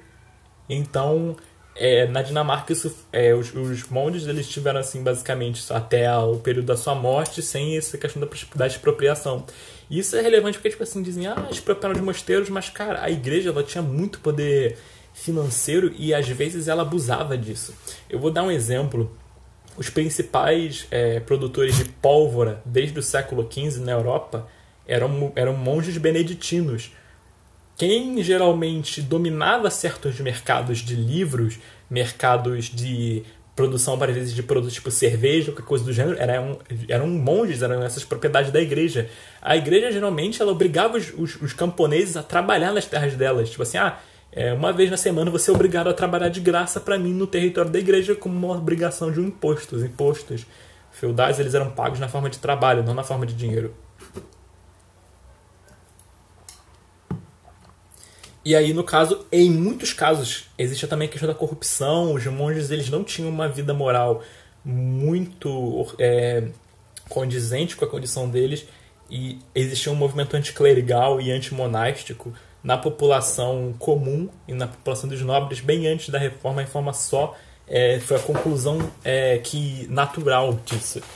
Alguns casos foram menos populares comparando da Inglaterra, onde não existia um antimonasticismo tão grande. Mas isso acabou levando a. Eventualmente existiam certas críticas, mas não era tão comum. Mas, assim, as Inglaterra a gente tem que levar em consideração também que Henrique VIII ele não era protestante, ele era católico, ele cismou com o Papa, criou uma igreja católica nacional que não, era, é, que não tinha a autoridade do Papa. É, mas em questão de doutrina ele era praticamente igual o Thomas Kramer ele tentou forçar cada vez mais uma passagem desse catolicismo sistemático para o protestantismo. Então ele tentou mexer na liturgia, ele tentou botar a popularização da Bíblia no idioma nativo para as pessoas. Henrique VIII depois reclamou disso e eventualmente ele foi morto porque o como Henrique VIII ele não queria mudar a doutrina, eles criaram os nos artigos, nos artigos que afirmaram a doutrina católica. E aí Thomas Kramer, como ele não concordou com isso, ele foi executado por alta traição e heresia. Embora ele fosse um servo leal do rei, da mesma forma que o Thomas More era. Mas ele simplesmente não é, concordava com as medidas religiosas do rei. E engraçado é que eu estava lendo a biografia, uma uma biografia sobre Thomas More. Thomas More, ele tinha uma, uma casa, na casa dele tinha uma, tinha uma, tinha uma cela de tortura. Era comum certos nobres na Inglaterra na época terem cursos, meio que cursos de ofício de torturador. Thomas More torturava pessoas, ele torturou pessoas, ele mantinha pessoas em cárcere. E geralmente ele tinha, ele era bem amigo do rei, ele dizia, mas ele não tinha ilusão, ele falava assim: se a minha morte pudesse dar um castelo na França pro rei, ele a minha cabeça ia rolar agora mesmo porque ele já sabia que o Henrique VIII ele tinha pretensões políticas muito fortes, tanto que no século XVI ele era o único monarca da Europa Ocidental que tinha uma mentalidade militar. Ele tentou invadir a França para poder reviver a Guerra dos 100 Anos, mas não deu certo. Ele se meteu em guerra, ele lutou pelo papado na guerra, nas guerras italianas. E o papado, inclusive, saudou ele depois como defensor da fé e teve aquela palhaçada toda que ele cismou com a Igreja Católica, mas manteve o título. Então, é, ele inclusive escreveu contra Lutero. Se vocês forem no Google Livros, existe a, o livro em inglês do, da resposta de Lutero a Henrique VIII. É contra é, Enrico Rex Angliae. E aí ele vai ser contra coisas com relação aos sacramentos e as defesas que Henrique VIII vai fazer da doutrina. E aí, engraçado que, tipo assim, é, Henrique VIII, depois que teve essa resposta, ele detestava Lutero, porque Henrique VIII ele escreveu numa carta dizendo que se ele pudesse, ele queimava Lutero, que nem um porco. E aí Lutero escreve, e ele, Lutero vai, vai fazendo as refutações e ele diz assim: bom, Existem dois tipos de pessoas. As pessoas. É, é, é, se assim, eles dizem que, que Henrique VIII era um rei burro e incompetente, por exemplo. Eles que ele era falacioso, que ele era surfista. E Henrique VIII, naturalmente, ele ficou muito bravo com isso. E isso foi relevante na rejeição que Henrique VIII teve da, da fé reformada depois. Mas, para gente não ficar muito só nessa questão de reforma e príncipe eu vou tentar passar para outros assuntos. A gente falou do Lavo de Carvalho, a gente falou a reforma e a intelectualidade. Quando tinham perguntado para mim se o protestantismo é anti-intelectual e se ele rejeitou a filosofia, a questão é a seguinte: o protestantismo ele rejeita a filosofia no sentido de que na filosofia que tinha sido construída até o período que tinha chegado nele, e isso acontece porque porque a filosofia que existia no século XVI, ela era em grande parte humanista da Renascença, que era platônica ou neoplatônica, e a filosofia mais ortodoxa, que era a filosofia tomista, que era derivada do aristotelismo com uma mistura de catolicismo. E por que, que a gente rejeita? Porque é como é como como é o nome daquele pai da igreja do século II, meados do século II, o nome dele é Tertuliano. Ele diz que não existe comunhão de Jerusalém com Atenas. Isso foi uma proposta que a filosofia católica mais tarde rejeitou. Por quê? Cara, se você. As pessoas elas mantêm muito figuras como Aristóteles, Platão, Plotino, etc., num pedestal. Você não pode chegar numa aula de filosofia e dizer que Aristóteles cometeu um monte de erros. A pessoa vai olhar para você e falar: quem é você para falar de Aristóteles? Você é um, você é um esgoto de pessoa, entendeu? E você não pode falar que, que Aristóteles, essa galera toda, eles eram heredes, que eles falaram mentiras. Embora eles tivessem certos raciocínios que chegassem a uma verdade de fato, eles tinham muita contaminação de um pensamento pagão, panteísta ou qualquer coisa do gênero. Eles às vezes criavam os próprios deuses. E tanto que o gnosticismo é baseado pesadamente em filosofia grega. Então, quando existe uma proposta de tentar conciliar a filosofia grega com o cristianismo, das duas uma, ou o cristianismo ia ser corrompido ou a filosofia grega ia ser corrompida. A ideia era tentar fazer, era que o tomismo e o escolasticismo tentaram era tentar cristianizar a filosofia grega, só que isso causou problemas de fato, porque, é, como o Francis Schaeffer fala no Morte da Razão, se vocês perguntarem material para o Vitor ABM ou procurarem no blog dele, ele também trata isso mais extensamente. Que Aquino, quando ele vai fazer a sua análise da filosofia, que ele abandona os pressupostos da ortodoxia cristã para tentar cristianizar, ao invés de fazer o contrário. O que acontece? Ele não vai estar usando a Bíblia como uma fonte de revelação ou a fonte da verdade. Então ele vai tentar usar o intelecto dele para poder chegar a conclusões, tipo assim, ah, o aristotelismo está certo nisso, está errado naquilo. E isso tem um problema, inclusive que é atestado na própria epistemologia tomista e que entra, de certa forma, também na questão do que contamina todo o tomismo. É basicamente uma coisa. O tomismo, ele acredita ele acredita no pecado original. Ele acredita que a, a vontade humana ela é contaminada pelo pecado original e você é depravado. Ou seja, a sua vontade, os seus desejos, o seu corpo, a sua carne, ela, elas foram contaminadas pelo pecado e você se afastou de Deus. Mas Aquino ele acaba acreditando, é, tem, tem partes que ele tenta abrir aspas meio que rejeitar isso, mas em outras partes ele acredita, ele confirma essa crença. E essa é a crença que vai ser tomada em toda a filosofia calvinista, calvinista não, a filosofia tomista, e que a Igreja Católica reconhece até hoje, que é é possível chegar a Deus e a verdade através do raciocínio humano. A mente humana, ela não ela não foi totalmente contaminada pelo pecado original, então quer dizer que a mente humana, ela ela ela está no estado meio que pré-adâmico, ou seja, é possível chegar a Deus usando a razão.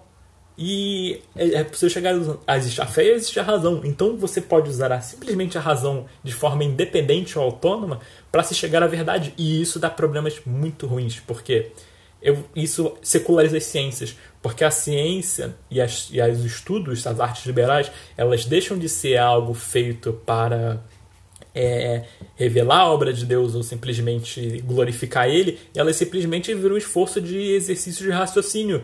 E todo mundo sabe que raciocínio não dificilmente às vezes gera um, uma conclusão, como é que eu posso dizer, é, verdadeira. Tanto é que se, é, se fosse possível chegar à razão simplesmente usando a razão, toda pessoa que a gente fosse discutir, ela ia se convencer de que, você tá, de que ela estava errada ou de que você estava certo, ou vice-versa. Se você fosse discutir com um marxista, você ia mandar razão, você ia expor razão para ele e ele ia falar, não, realmente, através dos argumentos racionais eu me convenci de que essa é a verdade e isso não acontece. E a culpa disso é do pecado original. A gente não é capaz de chegar à verdade pela razão. A nossa razão ela é contaminada.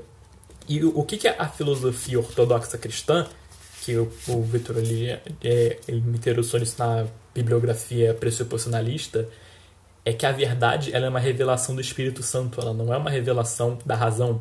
Então, quando você chega à verdade, na verdade é o Espírito Santo que está te iluminando a chegar nessa conclusão. E quando o Calvino ele escreve sobre isso, inclusive eles postaram sobre isso nas institutas da religião cristã contra os acadêmicos. Os católicos ficaram loucos. Porque ele diz que se a gente ouvir uma verdade sendo proclamada, a gente não pode rejeitar ela simplesmente do que a pessoa que proferiu essa verdade é um herege, ou é um blasfemador, ou ela é uma pessoa que a gente odeia. Se ela falou uma verdade, a gente tem que aceitar essa verdade como uma revelação do Espírito Santo. Estou entendendo? Isso significa dizer que até mesmo um católico ele pode falar coisas verdadeiras a respeito da fé cristã, um, marxista pode falar coisas a respeito da corrupção às vezes da igreja, que às vezes existe corrupção na igreja, ele não está mentindo quando ele existe que existe corrupção da igreja, existem pastores ladrões, existem pastores ladrões. Apesar de a pessoa que dizer isso seja completamente, a gente considera ela como uma, um indivíduo completamente detestável, ela não está mentindo, a gente não pode rejeitar a verdade simplesmente porque o emissor dessa informação é uma pessoa que a gente detesta. E isso é relevante. Nós, a ortodoxia religiosa da cosmovisão cristã, a verdade é revelada pelo Espírito Santo. Não só isso, a verdade é Cristo. Quando ele Cristo se admite como caminho, a verdade e a vida, ele também ele essa parte da verdade é relevante. Toda Jesus Cristo é a verdade, então toda verdade na verdade é uma emanação de Jesus Cristo e a gente consegue chegar à verdade através do Espírito Santo. Não sei se isso foi claro o suficiente para vocês. Então, quando Aquino ele abandona esse pressuposto cristão e ele tenta conciliar o aristotelismo, ele vai usar justificativas primariamente racionais e às vezes vai usar a igreja para justificar. Mas ele, por exemplo, eu vou dar exemplos que tem no livro deles: questão de pena de morte e a questão do Estado. Todo mundo conhece gente que é contra a pena de morte, que é contra o Estado, para os anarcocapitalistas. Aquino ele vai, ele vai tratar da questão do Estado no capítulo da Suma Teológica. E ele diz que o Estado ele precisa existir. Por que, o Estado precisa existir? O que, que a Bíblia diz? O Estado ele existe porque Deus instituiu as autoridades e a autoridade delas tem fonte divina. Quando, por exemplo, Jesus ele vai se relatar a Pôncio Pilatos, ele diz que é, que a toda autoridade foi dada que a toda autoridade foi dada a Pilatos. Então, é, Pilatos ele não estava fazendo algo que ele não tinha, ele não era uma autoridade legítima. Deus deu essa autoridade para ele. No livro das Revelações de Daniel, eles falam a respeito dos principados, que são uma casta de anjos muito poderosa que é responsável pela, pelo, pelo um país. E ele diz que o príncipe da Babilônia estava em guerra com o príncipe da Pérsia e que depois o príncipe da Pérsia chegaria e conquistaria aquela região. O príncipe, o anjo que governaria aquela região seria um novo, um novo anjo, o príncipe da Pérsia. Só que com o tempo, o príncipe da Pérsia seria, seria substituído pelo príncipe da Grécia. E o príncipe da Grécia que ele está se referindo aqui é o Império Macedônio de Alexandre o Grande. E a gente também está falando de coisas que é uma, é uma revelação futura. É, o próprio pai, o Alexandre o Grande, eles sequer existiam nessa época. O Império Alexandrino não existia. Na época era só aquele monte de cidades-estado naquela região. E o Império Persa ainda estava crescendo. Então, é, você pode ver que a Bíblia, como ela é uma fonte de verdade inerrante, ela fala a respeito dessas questões no sentido de que, o, de que as autoridades são divinamente construídas. Mas a teoria cristã, qual é a questão? Porque isso, ah, quando uma pessoa diz, ah, então quer dizer que a gente tem que obedecer tudo que uma autoridade diz? Não. A gente tem um limite e isso varia a respeito da escola de pensamento da tradição cristã que a gente sai no, no protestantismo a gente tem duas, que é a luterana e a reformada, que é a calvinista. E a luterana ela é mais passiva, a calvinista ela é mais como é que eu posso dizer, é mais reacionária. A, a, teoria católica eu já disse, a teoria católica ela, ela acredita que as autoridades são divinamente construídas, mas existe o Papa, e o Papa é uma autoridade acima de todas as autoridades. Se ele quiser, ele pode depor um príncipe. Em que sentido? O príncipe ele virou um herege, ou ele persegue o cristianismo, ele pode depor esse príncipe e botar o príncipe que ele quiser no lugar, inclusive um príncipe pagão. Ele, ele mas geralmente ele vai prezar naturalmente por um príncipe católico.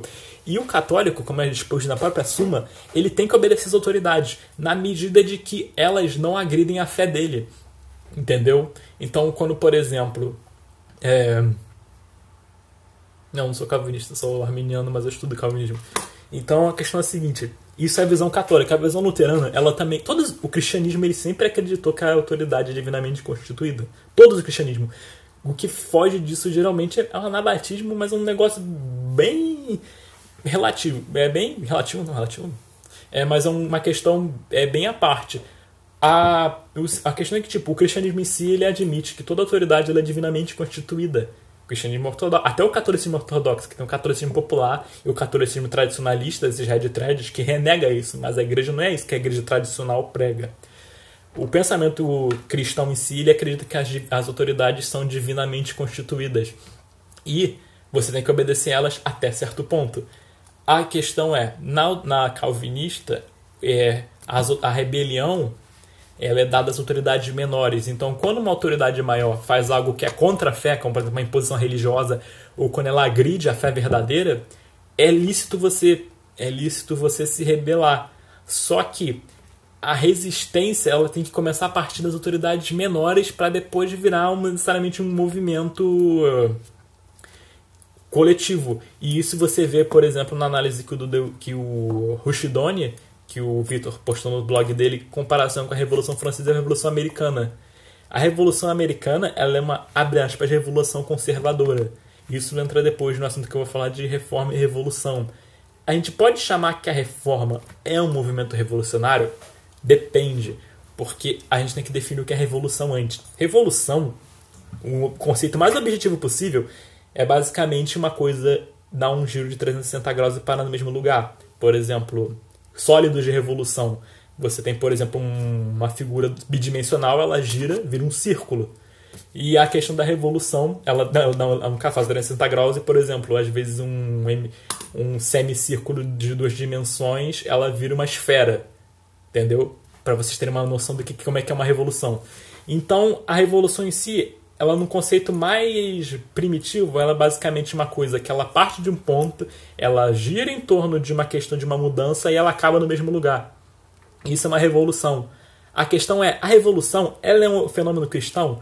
Porque o conservadorismo diz que não deve haver revolução, mas a gente tem que entender a revolução como o conservadorismo crê. A revolução, é, e a gente também tem que entender que o conservadorismo não é cristianismo. O conservadorismo é uma doutrina política que, em geral, pode ou não se ter, estar alinhada com a ortodoxia cristã. Geralmente não está. Esse é o problema. E esse é o problema da política no Brasil. As pessoas defendem conservador e esquece que o conservador geralmente ele pode ter bases iluministas, como é o caso da maioria dos doutores conservadores da Europa, como por exemplo David Hume e similares, que geralmente até maçons, inclusive, iluministas, etc a gente tem que ter como fundamento a lei divina. E isso acaba sendo uma questão também de cosmovisão cristã que deveria ser, é, que deveria, pelo menos era uma obrigação de todo cristão protestante ser a favor da teonomia e ser a favor de um estado de, ser, ou seja, o que é a teonomia? A teonomia ela é um, ela é um estado onde a lei deriva da lei divina, ou seja, a revelação bíblica da palavra. Porque o Rushduni diz que a, o mundo ele, destru, ele foi destruído a partir do momento que você tem religião você tem lei. E aí o que acontece? Elas eram casadas, ou seja, a, as leis dos países elas eram alinhadas, elas eram derivavam da autoridade das escrituras, da autoridade de uma igreja, de uma religião, como o caso do catolicismo. Eles vão separar, ou seja, a lei é uma coisa e o Estado é outra. E aí você tem a religião. E isso gera problemas, por quê? Você tem às vezes um Estado que ele apoia o aborto. Você tem uma Constituição que permite o aborto.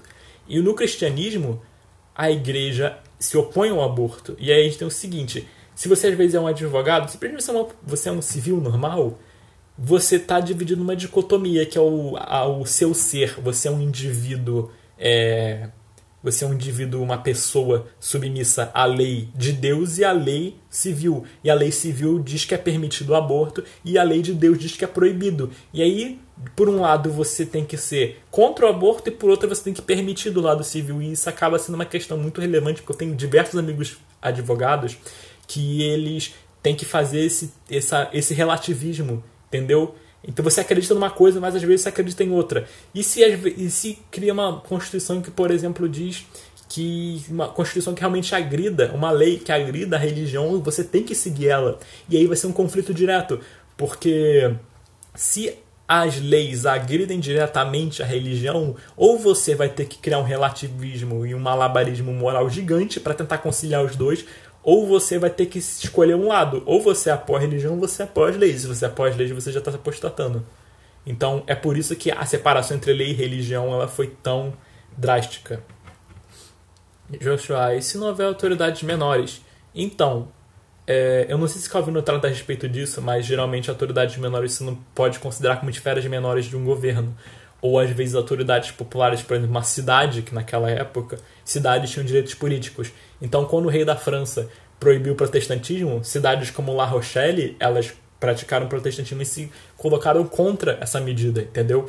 E é justamente por isso que Calvino e a história dos reformadores como teóricos políticos vão sempre se opor à centralização de poder. Calvino, ele, ele, isso é uma questão também que a gente tem que entender. O cristianismo, ele pode, um cristão ele pode ser monarquista, ele pode ser republicano, ele só não pode ser anarquista, que, né? Mas ele pode ser adepto de diversas formas de governo, porque em todas elas a autoridade vai ser divinamente constituída, entendeu?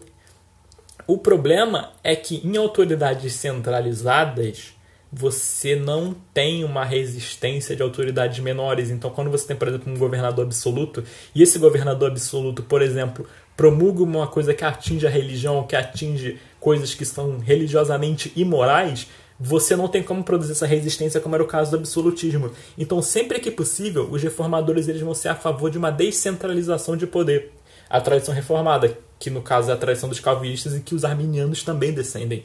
Então, você pode observar que, não, que o absolutismo ele sempre foi refutado pelos teólogos protestantes da tradição reformada, e aí você vai ver quantos países, por exemplo, é, protestantes, ou especialmente da tradição reformada, viraram absolutistas. Esses países, eu vou dar um exemplo para vocês: Escócia, Inglaterra, uh, Suíça, Hungria, é, Holanda, etc. Em todos esses países você consegue observar que o poder é descentralizado. E o luteranismo ele é neutro nisso. O luteranismo para ele tanto faz se o poder fosse descentralizado, centralizado e não é interesse da religião querer defender um modelo melhor ou não. E aí eles são meio que estáticos nessa questão. Mas o, o a, a tradição reformada sempre defende sempre que possível você tentar estratificar o poder porque se o poder é centralizado, a partir do momento que esse, esse rei ou esse presidente ele faz algo que é contrário à fé, é muito difícil você ter uma resistência. E isso foi relevante em que sentido? Quando você teve a Guerra Civil Inglesa, ela começou porque o rei estava querendo impor uma religião cada vez mais católica. Ele secretamente se converteu ao catolicismo, como um acordo do rei da França. E conforme o tempo estava passando, ele estava querendo centralizar isso de forma absolutismo. E a Inglaterra, na época, era, uma, era constitucional e parlamentarista. E o parlamento, que vai ser principalmente composto de puritanos e de outros protestantes, vão se opor a isso. Vai ter uma guerra civil inteira sobre essa questão, se opondo ao absolutismo. Por quê? Porque para a tradição reformada é quando você tem um governante que é absoluto, ele pode fazer qualquer coisa, entendeu? E aí é difícil você ter uma, uma, uma resistência, é, como é que eu posso dizer, legítima contra essa autoridade. Um cristão pode defender essa coisa também. É, repúblicas naquela época, até o século XIX, elas eram aristocráticas. Não existia o que a gente chama hoje de um governo que um sufrágio universal. O voto era censitário, o voto era definido por é, uma, uma posição política ou emprego que você tinha. Em Genebra, por exemplo, você tinha que fazer parte de certas profissões para você poder ter o direito a voto, como, por exemplo, um ferreiro, artesãos, profissionais liberais, etc. Entendeu? Porque eles acreditavam que você não pode dar o voto para qualquer pessoa. Se chega e dá para uma pessoa que morre de fome, um mendigo, uma pessoa que trabalha, sei lá, um período de 8 horas por dia, você chega e dá assim, ah, só tem que escolher entre duas pessoas. A pessoa dificilmente ela vai ter um tempo, ela vai ter formação em educação política para ela poder escolher o que ela é melhor. Ela muitas vezes vai cair para demagogia e eu acho que esse é o problema da democracia moderna, essa questão do sufrágio universal, o direito de que você dá a todas as pessoas e no Brasil é pior porque você obriga todas as pessoas a votar. E aí você tem governos populistas. A pessoa não tem uma proposta política decente, ela não tem um plano de governo consistente, mas ela ah, tem um jargão, ela tem um jargão bonitinho, ela promete que vai dar uma bolsa de esmola para você, e aí você que não tem uma formação política não entende às vezes como às vezes como o caso do Ciro Gomes que quer imprimir um monte de dinheiro, você vai lá e vota nele. E aí e isso acaba, por exemplo, até no Bolsonaro mesmo, porque o Bolsonaro tem muito essa proposta é, populista e eu acho que isso é errado, mas isso é uma consequência da democracia. Não tem no Brasil hoje como você simplesmente apresentar uma, um plano de governo sem apelar para o populismo, porque o povo não tem formação política. Como é que você vai votar numa pessoa assim? Você acha que uma pessoa, um, um assalariado, uma pessoa que trabalha no emprego de base, ela vai saber ou vai ter formação para poder julgar o que, que é um plano de governo melhor com relação a keynesianismo ou um liberalismo, ou até pior, um comunismo, entendeu? Então eu acho que eu observo isso como um problema da democracia moderna, entendeu? Mas assim, o Lula, se o, Lula quando era presidente, a autoridade dele era divinamente constituída. Você não podia se rebelar contra o Lula, exceto nos momentos em que ele a, ele realmente ele deu essa margem para rebelião ou para resistência. Então, nesse sentido, existe é, cláusulas onde a resistência é permitida. A gente pode ver isso historicamente com a Guerra Civil da Inglaterra, com as guerras de religiões francesas, com a Guerra dos 30 Anos e etc. João Break. Acho que agora sim a iluminação está melhorando. Enfim, hum, eu acho que eu fui deixar essa questão bem claro. E, em certo sentido, a reforma pode ser considerada revolucionária, mas o termo mais adequado que a gente deve considerar, pelo menos politicamente, é que a reforma é reacionária. E isso é posto por diversos autores, inclusive o Nietzsche, no sentido de que ele tem um capítulo no livro, eu não sei qual é o título do livro em português, mas em inglês é Human Out Human. Ele tem. Eu vou escrever, peraí. Tales, beleza. Parte do Calvino e Genebra. Uh, ok. Eu estava falando sobre a questão da rebelião. Então, é, é questão rebelião não, questão reacionarismo e revolução. Ele tem um capítulo chamado Renascença e Reforma. E o que acontece? É, nesse capítulo de, de, Renascença e Reforma, Nietzsche ele vai dizer, ele vai encarar os valores da Renascença, o humanismo, princípios do secularismo e etc., como precursores do iluminismo, só que ele vai fazer um contraponto com o fato de que existia um, um antro conservador no século XVI e esse antro conservador ele encontrou um foco na, na Alemanha. Para Nietzsche, o, o, povo alemão era extremamente conservador, então ele vê Lutero como uma espécie de um, um exemplo do alemão típico.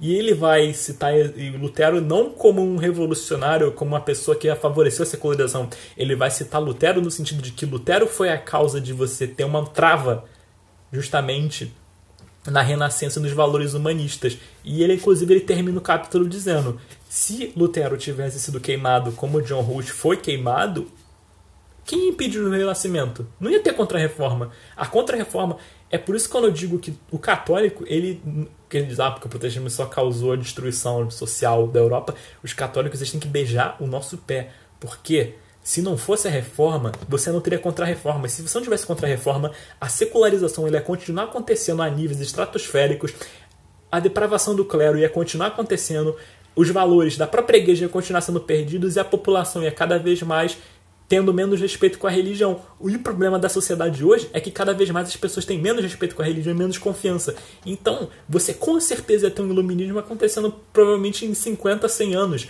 E Cara, é só pegar o livro de Nicolau Maquiavel, que era até muito revolucionário para o próprio tempo, mas ele já estava definindo os conceitos de um Estado que é justificado pela própria, pela própria existência. Ou seja, o governo pelo governo. Você pode fazer o que você quiser, desde que as consequências para isso sejam benéficas. E benéficas para quem? Para você, entendeu? Não existe. O, o, governante ele não é cativo pela lei divina, ele não é cativo pela consciência que ele tem com Deus. Você pode, por exemplo, exterminar uma dinastia se o extermínio dessa dinastia te, te garantir um governo estável. Isso é legítimo por quê? Porque ela se legitima em si mesma. O governo se legitima em si mesmo. E isso é um dos problemas também da nossa nosso sistema político atual, porque o nosso sistema político atual ele é baseado nos escritos de Nicolau Maquiavel. Então, nesse sentido, a reforma não foi uma. uma causou o secularismo. O, que, o, o, como que causou o secularismo? As guerras de religião. O que acontece? O protestantismo se estabeleceu. O protestantismo era um problema. Países tinham se tornado protestantes e não ia ser nenhuma, nenhuma tentativa de resolver isso a nível teológico de debate que ia resolver. O que, que a igreja fez? Vamos consolidar o catolicismo nos países que ainda são católicos e vamos empreender guerra contra os países que são protestantes. Para quê? Para isso não se alastrar e para a gente fazer o povo desse país voltar a ser ortodoxo com a igreja. E o que acontece? Muita guerra, guerra, muita gente morreu. Simples. Guerra dos 30 anos foi responsável no início, no início um terço da população civil da Alemanha, especialmente da Alemanha protestante, morreu de fome, ou morreu assassinada, ou morreu de peste por causa do exército.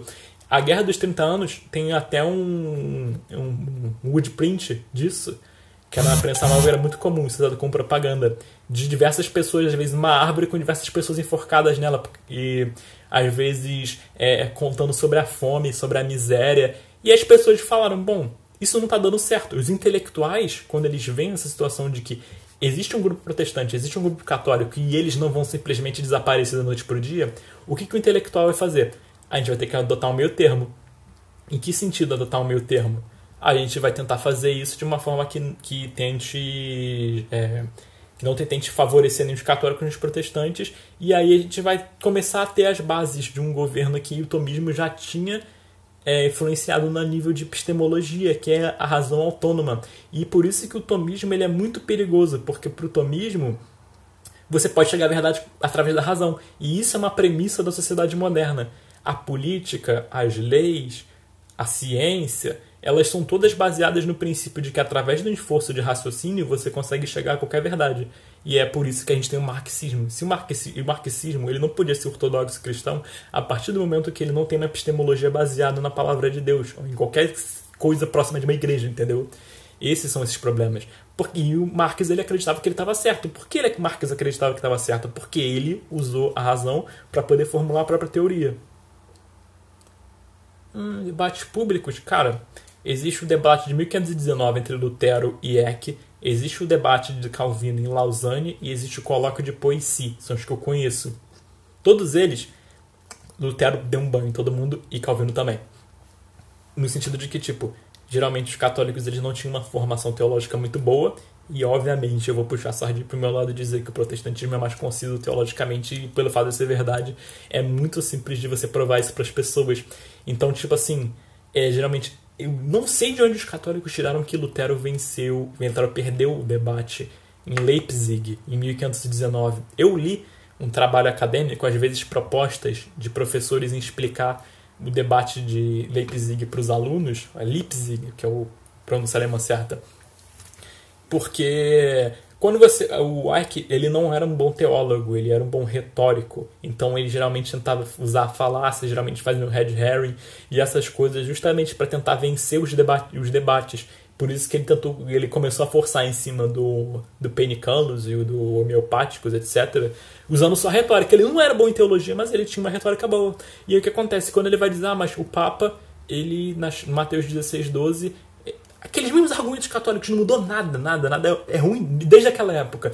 Quando geralmente dizem que, ah, porque o Papa, Cristo deu as chaves para Pedro, então o Papa sucessor de Pedro, etc. Então o Papa é o chefe da cristandade.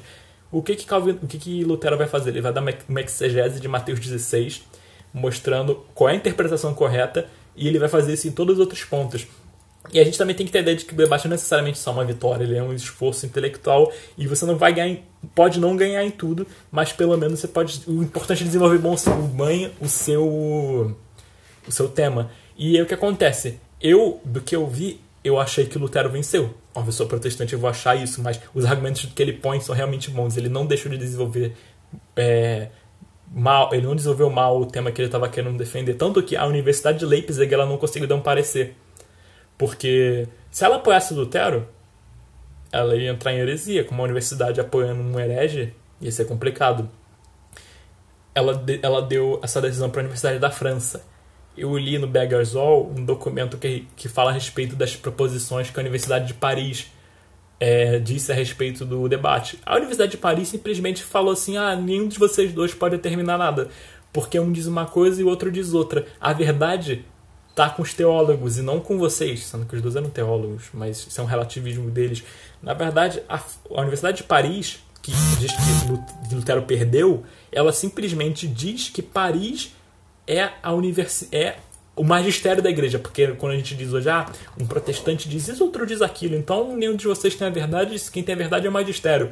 Na verdade, essa visão católica é extremamente recente. Na França, onde você tinha o galicanismo, eles acreditavam que quem determinava a verdade a respeito da interpretação correta das escrituras, a respeito da interpretação correta da patrística da doutrina, não era o Papa, era a classe teológica da qual Paris era a mais notória. É assim que a carta justifica as decisões dela. Ela simplesmente diz que nem Lutero nem que tem autoridade para poder defender isso ou aquilo. Quem tem são os teólogos, dos quais a Universidade de, de Paris tem os teólogos mais. É, como é que eu posso dizer? Os mais ilustres. Basicamente isso. A Universidade de Paris formou um galicanismo. E o outro eu coloco de Poissy, que eu também não sabia aquilo que, a respeito dos detalhes, mas no, se você for no site do Lucas, ele fala a respeito do, colóquio de Poissy. Eles foram massacrados do colóquio de Poissy. Quem participou foi o Teodoro de Beza. Teodoro de Beza foi sucessor de, de Calvino em Genebra. E ele, junto com outros reformadores conhecidos, eles o erro da, dos franceses, inclusive o erro de qualquer católico, descuidado no debate, é botar a gente em campo comum. E o porquê que isso acontece? Quando a gente debate com eles, eles vêm com petição de princípio. Petição de princípio é quando você desenvolve uma argumentação onde você obriga a pessoa a acreditar na sua premissa. Quando uma pessoa diz, ah, mas eu não acredito nisso porque é, mas isso está errado porque a igreja diz que isso é certo, essa... mas assim, a igreja ela não está certa a priori. Você força a pessoa a ter que admitir que a igreja está tá, tá certa e aí você desenvolve a argumentação a partir dessas premissas. E aí existem outras premissas por trás dessa premissa. E o, o argumento católico é basicamente mais comum é isso. Quando eles colocam a gente a premissa comum, ou seja, a gente acredita nisso, o debate é feito com premissas comuns. Quando duas pessoas concordam nas premissas, cada uma, as pessoas desenvolvem seu próprio ponto de vista. Se você debate com pessoas que acreditam e discordam das premissas, você dificilmente vai ter uma, uma, um resultado intelectual, a menos que a, você mostre muito na cara que o argumento da pessoa está errado. E mesmo assim ela pode usar uma malabarismo retórico ou qualquer coisa do gênero para evitar isso. Então, tipo, é essa questão. O debate de Poissy era justamente isso. Era uma tentativa de, de diálogo, não era um concílio para resolver uma questão doutrinária. Era simplesmente botar os católicos e botar os protestantes para discutir. E aí, quando os protestantes começaram a discutir, eles dominavam muito mais de doutrina, eles dominavam muito mais de história de igreja, principalmente porque o clero, o alto clero católico na época, era majoritariamente posto nessa posição por motivações políticas, ou seja, o bispo ele não era bispo porque se destacou como padre, ele era bispo porque ele era descendente de um conde, ele era herdeiro, ele era, ele era tinha conexões é, familiares colocaram ele naquela posição. E mesmo o clérigo que, o clero que não vinha por, a ascensão é, de nascimento ou a ascensão de uma condição financeira, eles geralmente eles não estudavam muito. O clero católico era praticamente analfabeto funcional. Então, o Lutero diz isso que geralmente um padre dificilmente sabia mais do que rezar a própria missa.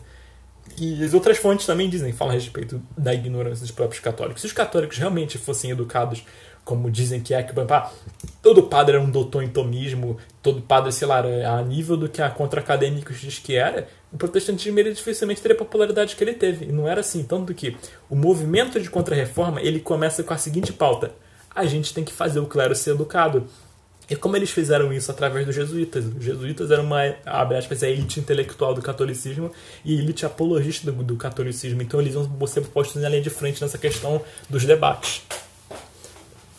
E o Colloquio de Poissy, tipo assim, foi um fracasso para tanto que ele teve efeitos benéficos na reforma protestante, porque originalmente, ser protestante na França você era imediatamente executado por heresia e passou a ser apenas punido com exílio. Se você fosse protestante, você tinha que sair. Entendeu?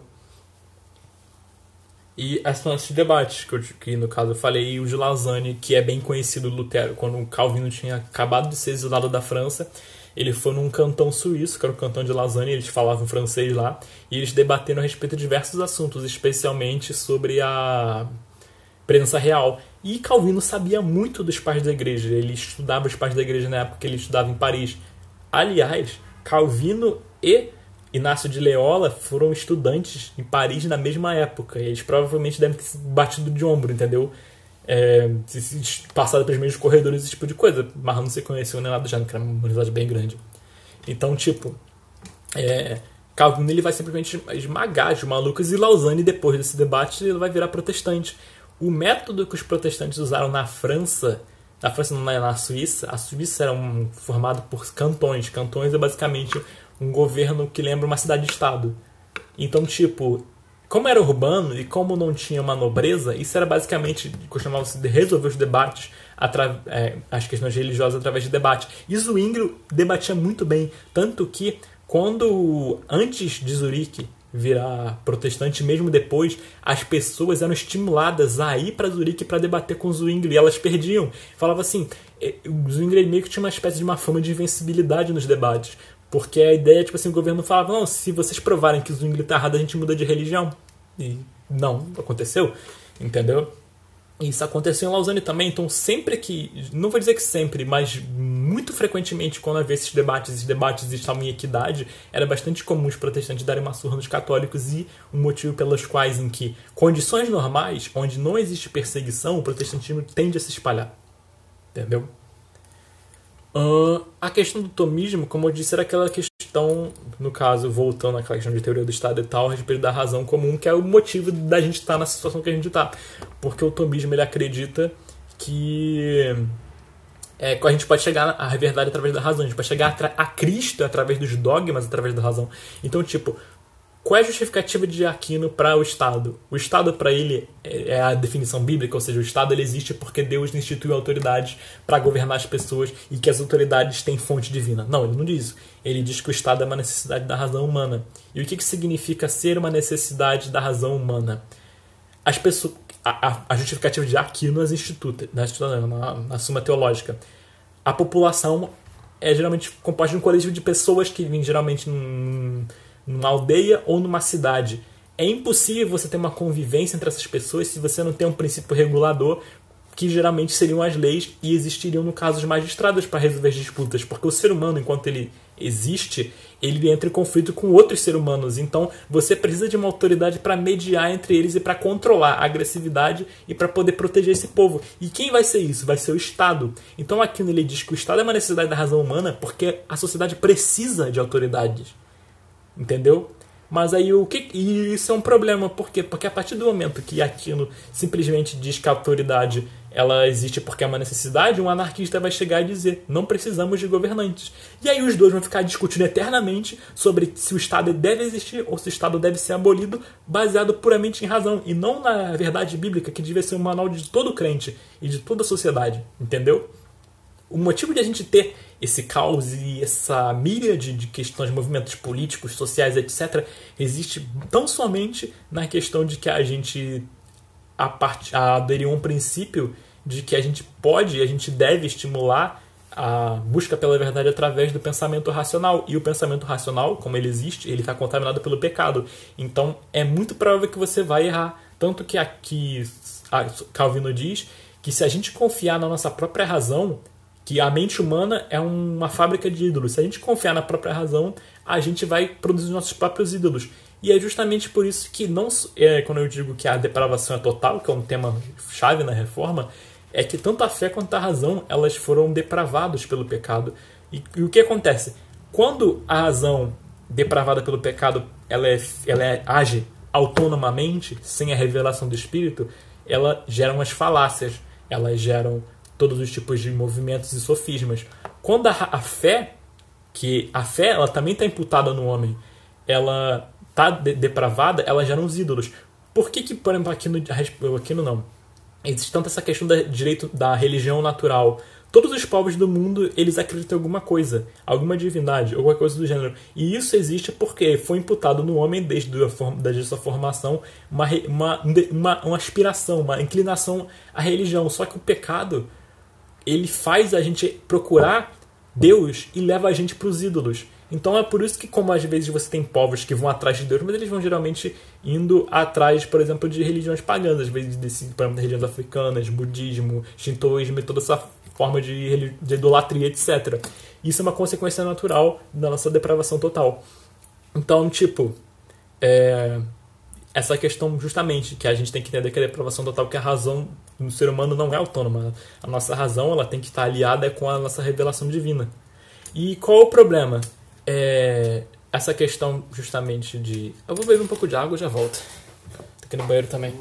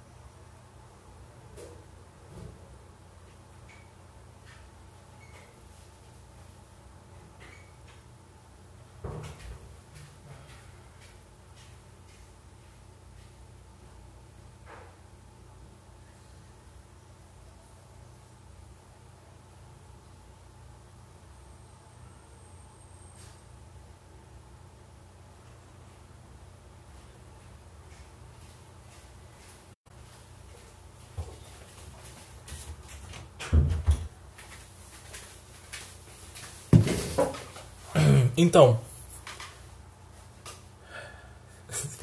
então, aquilo que eu estava falando. Existem decretos da igreja, eu acho que do tempo de João Paulo II, mas é só para vocês terem noção de que ele é relativamente recente, de que falam que fazem uma analogia de que a gente pode chegar a Deus através da fé e da razão. E aí, tipo, o que acontece?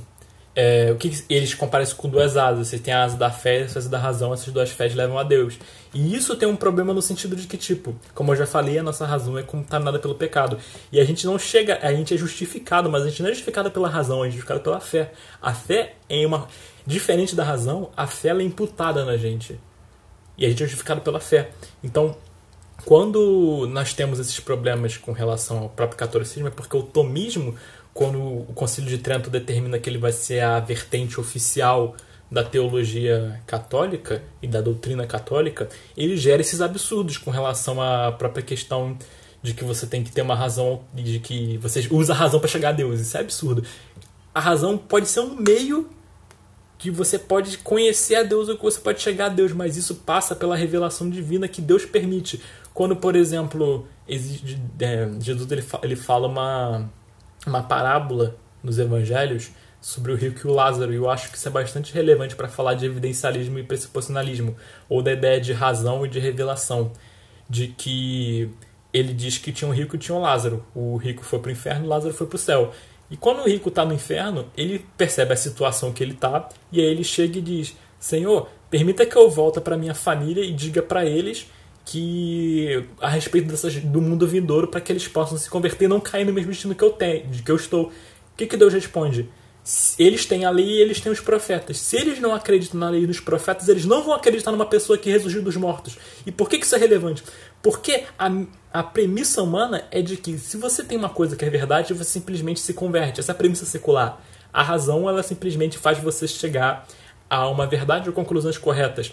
Então, se uma pessoa volta dos mortos, diz que ela esteve no inferno, diz que Deus existe, diz que você tem que obedecer a Deus, o que, que a razão humana secularista afirma? Se é realmente isso aconteceu, então quer dizer que a gente tem que seguir Deus, a gente tem que seguir, e a gente tem que fazer essas coisas, ou seja, é uma evidência. A gente, a gente foi conversando pelas evidências.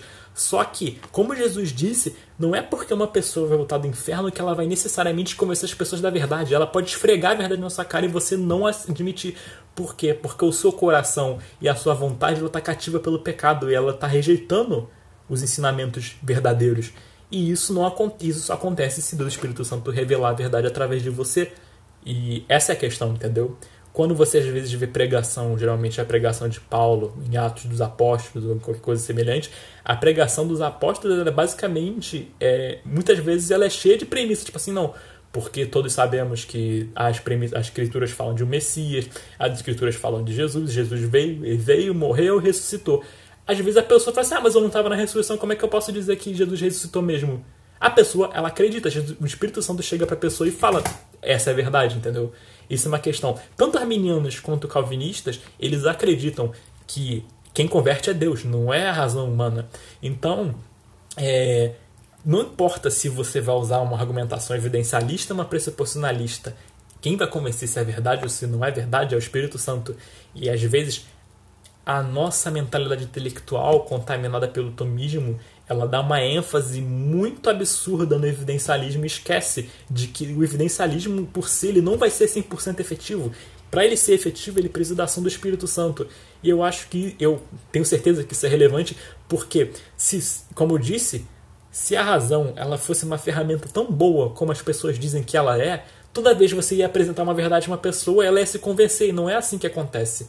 A gente sabe, qualquer pessoa sabe que as pessoas elas não, elas não se convencem mesmo se você esfregar a verdade na cara delas. E isso é uma consequência do pecado, como eu estava dizendo. Por isso que eu digo que eu tô mais. Sempre que uma pessoa falar para você que o protestantismo destruiu a civilização, você responde dizendo que quem destruiu a civilização foi o tomismo, porque o tomismo é a gênese por trás da secularização das artes, a secularização do intelectualismo e a, e a destruição dos pressupostos cristãos da cosmovisão cristã na formação da sociedade. E isso tem problema no próprio catolicismo, porque o catolicismo tem uma doutrina. O catolicismo ele tem existe diversas, mas por exemplo, quando você vai estudar soteriologia no catolicismo, o catolicismo ele também acredita que você é justificado pela fé, só que eles acreditam que as obras elas têm um papel. Pelo menos o catolicismo, quando eles realmente vamos estudar soteriologia para ver o que é. Então, eles realmente falam assim, não, você é justificado pela fé, mas as obras elas têm um papel na salvação. E aí eles vão desenvolvendo isso, não sei o que lá e tal, e aí você chegou a uma doutrina. E aí, no outro lado, você tem, sei lá, um padre, um santo maluco que chega e diz que você pode ser salvo por uma, pelo monergismo mariano. Entendeu? Ele fala assim: ah, se Maria vai te salvar do inferno, Maria vai te salvar. Você não precisa nem acreditar às vezes. Basta a Maria que escolhe quem ela quer salvar e quem ela não quer. Então, tipo assim, eles criaram um jansenismo ou um calvinismo católico mariano muito bizarro. E eu acho que isso tipo, é, é um problema absurdo. Porque a doutrina católica, a partir do momento que ela tem a questão da ortodoxia dela, que eu chamo de autoteologia, e a teologia popular, que às vezes acende a uma teologia aceita pela igreja, ou dogmática, que é o chamo de baixa teologia, ela é complicada justamente porque a partir do momento que você não tem a Bíblia, a sola escritura, como o único princípio infalível de verdade, você dá razão ao próprio pensamento humano e, a, e às vezes revelações mesmo, qualquer coisa do gênero, você está exposto a qualquer coisa. Então, por isso que você vê às vezes a catolicismo e a igreja ortodoxa, eles estão repletos de superstição absurda. Por quê? Porque uh, um santo falou uma coisa, o santo foi canonizado. Então você tem que aceitar o que o santo disse. Se o santo disse que ele exorcizou 100 mil demônios e os 100 mil demônios dizem que Maria é a mulher que os demônios do inferno mais temem, você tem que acreditar. Entendeu? Complicado. Hum, hum. Eu já falei de teocracia e teonomia, teoria política, secularismo, escravidão e feudalismo, falta de ética, inquisição, já falei também, terço de Deus. Ok. E só como um adendo, sempre que as pessoas disserem que o protestantismo ele não tem fundamentação filosófica, você responde que de fato eles tinham isso, pode ser provado historicamente. A primeira graduação de Lutero não foi em teologia, foi em filosofia. Lutero era doutor de filosofia na Universidade de Wittenberg. Não sei se era, acho que eu acredito que seja Wittenberg. Wittenberg deve ter uma universidade naquela época. É, foi um Wittenberg mesmo. Ele era doutor em teologia e em filosofia, sendo que filosofia foi o primeiro doutorado que ele conseguiu. Tanto que existe uma coisa que é preservada nos escritos dele, que ele fala para os papistas dizendo eu desafio a qualquer pessoa, qualquer católico que se diz intelectual, eu vou dar uma frase de Aristóteles para ele ler e se ele conseguir interpretar a frase de Aristóteles direito, eu pego meu chapéu de doutor e como. Tão confiante ele era no, na formação filosófica que ele tinha. E não só ele, como ele demonstrou diversas vezes, combate, ele combateu o tomismo na, nos documentos henricianos contra o Henrique, o rei da Inglaterra, ele dá uma surra no tomismo, ele diz que ah, ele diz que o tomismo é um dos principais erros de epistemologia na argumentação de, de Henrique VIII, ele expõe. Então, assim, Lutero estava bem longe de ser um ignorante de filosofia, só que ele sabia que a filosofia aristotélica e tomista ela não era ortodoxa com a fé cristã, então ele rejeita ela. E o problema é esse. Geralmente você, ah, vocês, protestantes odeiam a filosofia? Não, mas ele, o protestantismo rejeita 99% das produções filosóficas no mundo. Porque todas as produções filosóficas elas vão em algum momento esbarrar e contradizer a teologia bíblica, como por exemplo Immanuel Kant, Rumi, é, é, Locke, Voltaire, Nietzsche, Foucault. Todos esses são grandes nomes da filosofia, sem falar Aristóteles, sem falar nos tomistas, mas em algum momento eles vão contradizer a Bíblia, que a gente não pode simplesmente aceitar eles porque a sociedade diz que eles são grandes pessoas, entendeu? Esse é o problema. O protestantismo, ele valoriza a filosofia que é ortodoxa com a nossa epistemologia, com a nossa cosmovisão. E é por isso que geralmente eu estou procurando para tentar ler livros do, do De Weird, do Schaffer, etc., por causa da teologia deles, que é ortodoxa. Eles simplesmente eles têm a ideia de que a Bíblia é a, é a fonte da autoridade da verdade que a gente tem que seguir. Então eles desenvolvem uma teologia totalmente baseada, uma, uma filosofia bíblica, para assim dizer, uma filosofia dogmática nesse sentido. É, Calvino ele era, ele era estudante de direito e um dos primeiros escritos que ele fez era um escrito combatendo uma, ele fez um, um escrito combatendo uma questão anabatista e ele também escreveu falando de uma das principais obras filosóficas do tempo dele. Então ele demonstrava bastante conhecimento de filosofia. Então, assim, os, os reformadores não eram pessoas ignorantes, eles eram das pessoas mais inteligentes dos tempos dele, e você não precisa ser religioso para admitir isso. Eu posso admitir que Inácio de Leola era uma pessoa bastante. uma das maiores mentes do século XVI. Não quer dizer que eu acredito que ele esteja certo, entendeu? E diversos autores seculares, às vezes até católicos, dizem que, que eles eram intelectuais de peso, os reformadores. Então, não era simplesmente tipo assim, gente ignorante. Se fossem ignorantes, se eles estivessem com erros absurdos, como eles dizem que os católicos dizem que eram, o protestantismo não teria dado, dado certo, entendeu? Bom, e é basicamente isso. Com relação aos dois últimos temas, que são basicamente um, iconoclase e Constantino e a Igreja, que tinham postado anteriormente uma questão da defesa da tradição, dizendo que Calvino foi inspirado na iconoclastia islâmica, ou que, ou que forma, o iconoclastia cristã que aconteceu no século 8, no século 9, ela é fruto da própria do próprio islamismo, ou seja, o islamismo era iconoclasta, os cristãos viraram iconoclastas quando tiveram contato com eles. E isso é uma falácia da falsa causalidade. Eu estou lendo um livro acadêmico de bizantinística que ele chama Forging the Byzantine Iconoclasm, e ele diz que, primeiro, iconoclastia não existiu, existia iconomaquia. Tanto é que o principal gravura que eles associam como a iconoclastia, que é a forma de um cara com uma lança quebrando um Cristo numa cruz e uma imagem, na verdade ela não é uma, não é uma, uma miniatura representando uma iconoclastia. Ela é uma miniatura de uma iconofilia representando o soldado dando com uma lança um, é, vinagre na boca de Cristo. E justamente pelo fato de haver uma, uma propaganda difamatória tão gigantesca contra os iconomaquistas, isso as pessoas acham, ah, tá vendo aqui um exemplo de iconoclastia. Então, essa é muita difamação por trás dele. O próprio nome, né? Então, isso é um erro também dizer que não foi causado pela não foi causado diretamente pelos islâmicos. Os islâmicos causaram uma reflexão, mas o movimento iconoclasta, ou iconomaquista, que é o certo, ele é, uma, ele é uma, uma reacionarismo, ele não é uma revolução. Tá entendendo? Porque nessa época você também vai ter, vai começar a acontecer um desenvolvimento teológico com relação às imagens. Por exemplo, do ano do século IV, V, a igreja cristã já praticamente aceitava as imagens, só que eles consideravam as imagens como uma finalidade didática, uma finalidade às vezes só estética mesmo. Mas a partir do século V ou VI, final do século V, VI já começa a acontecer, eles começam a desenvolver que essas imagens elas viram um canal de, elas viram, elas têm dotadas de um mistério próprio. Isso é teologia oriental, não chegou nem no Ocidente, começou no Oriente. o que seria esse mistério? Elas são, cata, elas são catalisadores de graça. Catalisador no sentido de que, tipo, você pode orar para um santo, pegar, sentar e orar para o santo, beleza? Mas você pode ou pegar uma estátua de um santo, botar na sua frente e orar, e isso vai ser um canal vai ser um catalisador, seja, e, e, essa, e essa oração que você reza para a imagem chega no santo. E pela teologia da época, como ela justamente por ela ser um catalisador, ela é mais eficiente do que simplesmente você rezar para um santo. Então, é, é, vira basicamente os objetos, tipo ícones e relíquias, eles passam a ser dotados de um aspecto de que, tipo assim, eles são mais eficientes para o santo ou às vezes para o próprio Deus chorar, para atender suas orações. Então, quando você tem também a questão dos milagres, você, se você orar para Deus, o católico, ele, ele, o católico ele acredita que se você orar para Deus pedindo um milagre, Deus pode te atender. Mas se é uma relíquia de São Pio de Petricina, é muito mais provável você receber esse milagre, entendeu?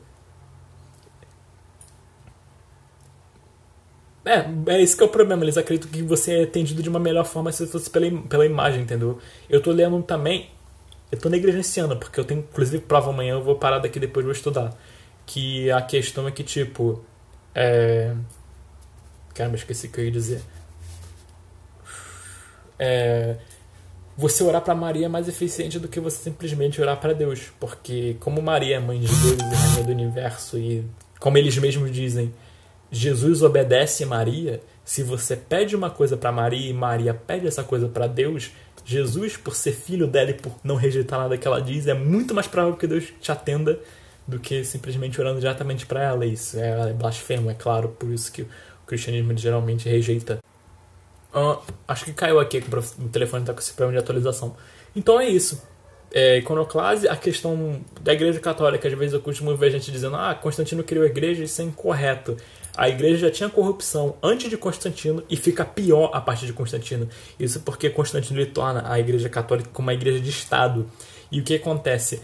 Quando a igreja vira uma igreja de Estado, a maioria dos pagãos se é obrigada a se converter, ou pelo menos ela é socialmente forçada a se converter para entrar na igreja. E Constantino ele expropria templos pagãos para poder transformar igrejas. Isso aconteceu tipo se você for em Roma hoje existem igrejas históricas que são daquele tempo que antigamente eram templos pagãos. Eles pegaram e transformaram na igreja, porque o Parthenon, que era um templo dedicado a Atena, na cidade de Atenas, ele era uma igreja. Porque quando teve esse decreto, as pessoas foram no templo de Paternon, destruíram os ídolos e falaram: ah, isso aqui é uma igreja agora. É, passou a ter poder político e assim foi se desenvolvendo, entendeu? É muito complicado isso, tipo, mas assim, a pessoa tem que entender que a Igreja Católica, ela não, a corrupção dela não nasceu Constantino, ela é um pouco anterior, mas ela também tem que entender que a Igreja Católica do século VIII, do século XII, do século raio que parta, é diferente da Igreja Católica de hoje. E a Igreja Católica de hoje é diferente da Igreja Católica do século XIX, que era extremamente tradicionalista e intolerante que é diferente da igreja do século XVI, o Conselho de Trento, que é diferente da igreja medieval.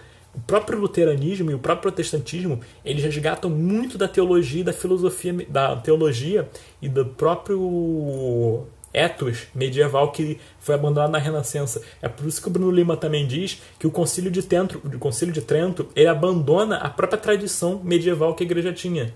E isso é muito relevante para você estar tá avaliando quando você vai discutir com uma pessoa, ou mesmo para entender, simplesmente explicar isso para seus amigos, etc. Finalizando, a questão de revolução e de, de, de ser revolucionário, sim, ele é revolucionário, mas isso não é ruim, porque se você, se você a gente tomar como uma, a definição que a revolução é simplesmente uma mudança, seja ela radical ou não, de um status quo para poder depois chegar no mesmo ponto, o cristianismo também é uma revolução. E eu acredito que nenhum conservador, conservadorzinho desses grupos de filosofia que se acha o grandão, ele vai ter que dizer que o cristianismo não causa uma mudança radical na forma como a sociedade existia. Mas isso não é ruim. Entendeu? E não era reacionarismo, porque a sociedade mediterrânea da época era pagã e idólatra. Então, eu sou a favor de dizer que o protestantismo é revolucionário, mas ser revolucionário não é ruim.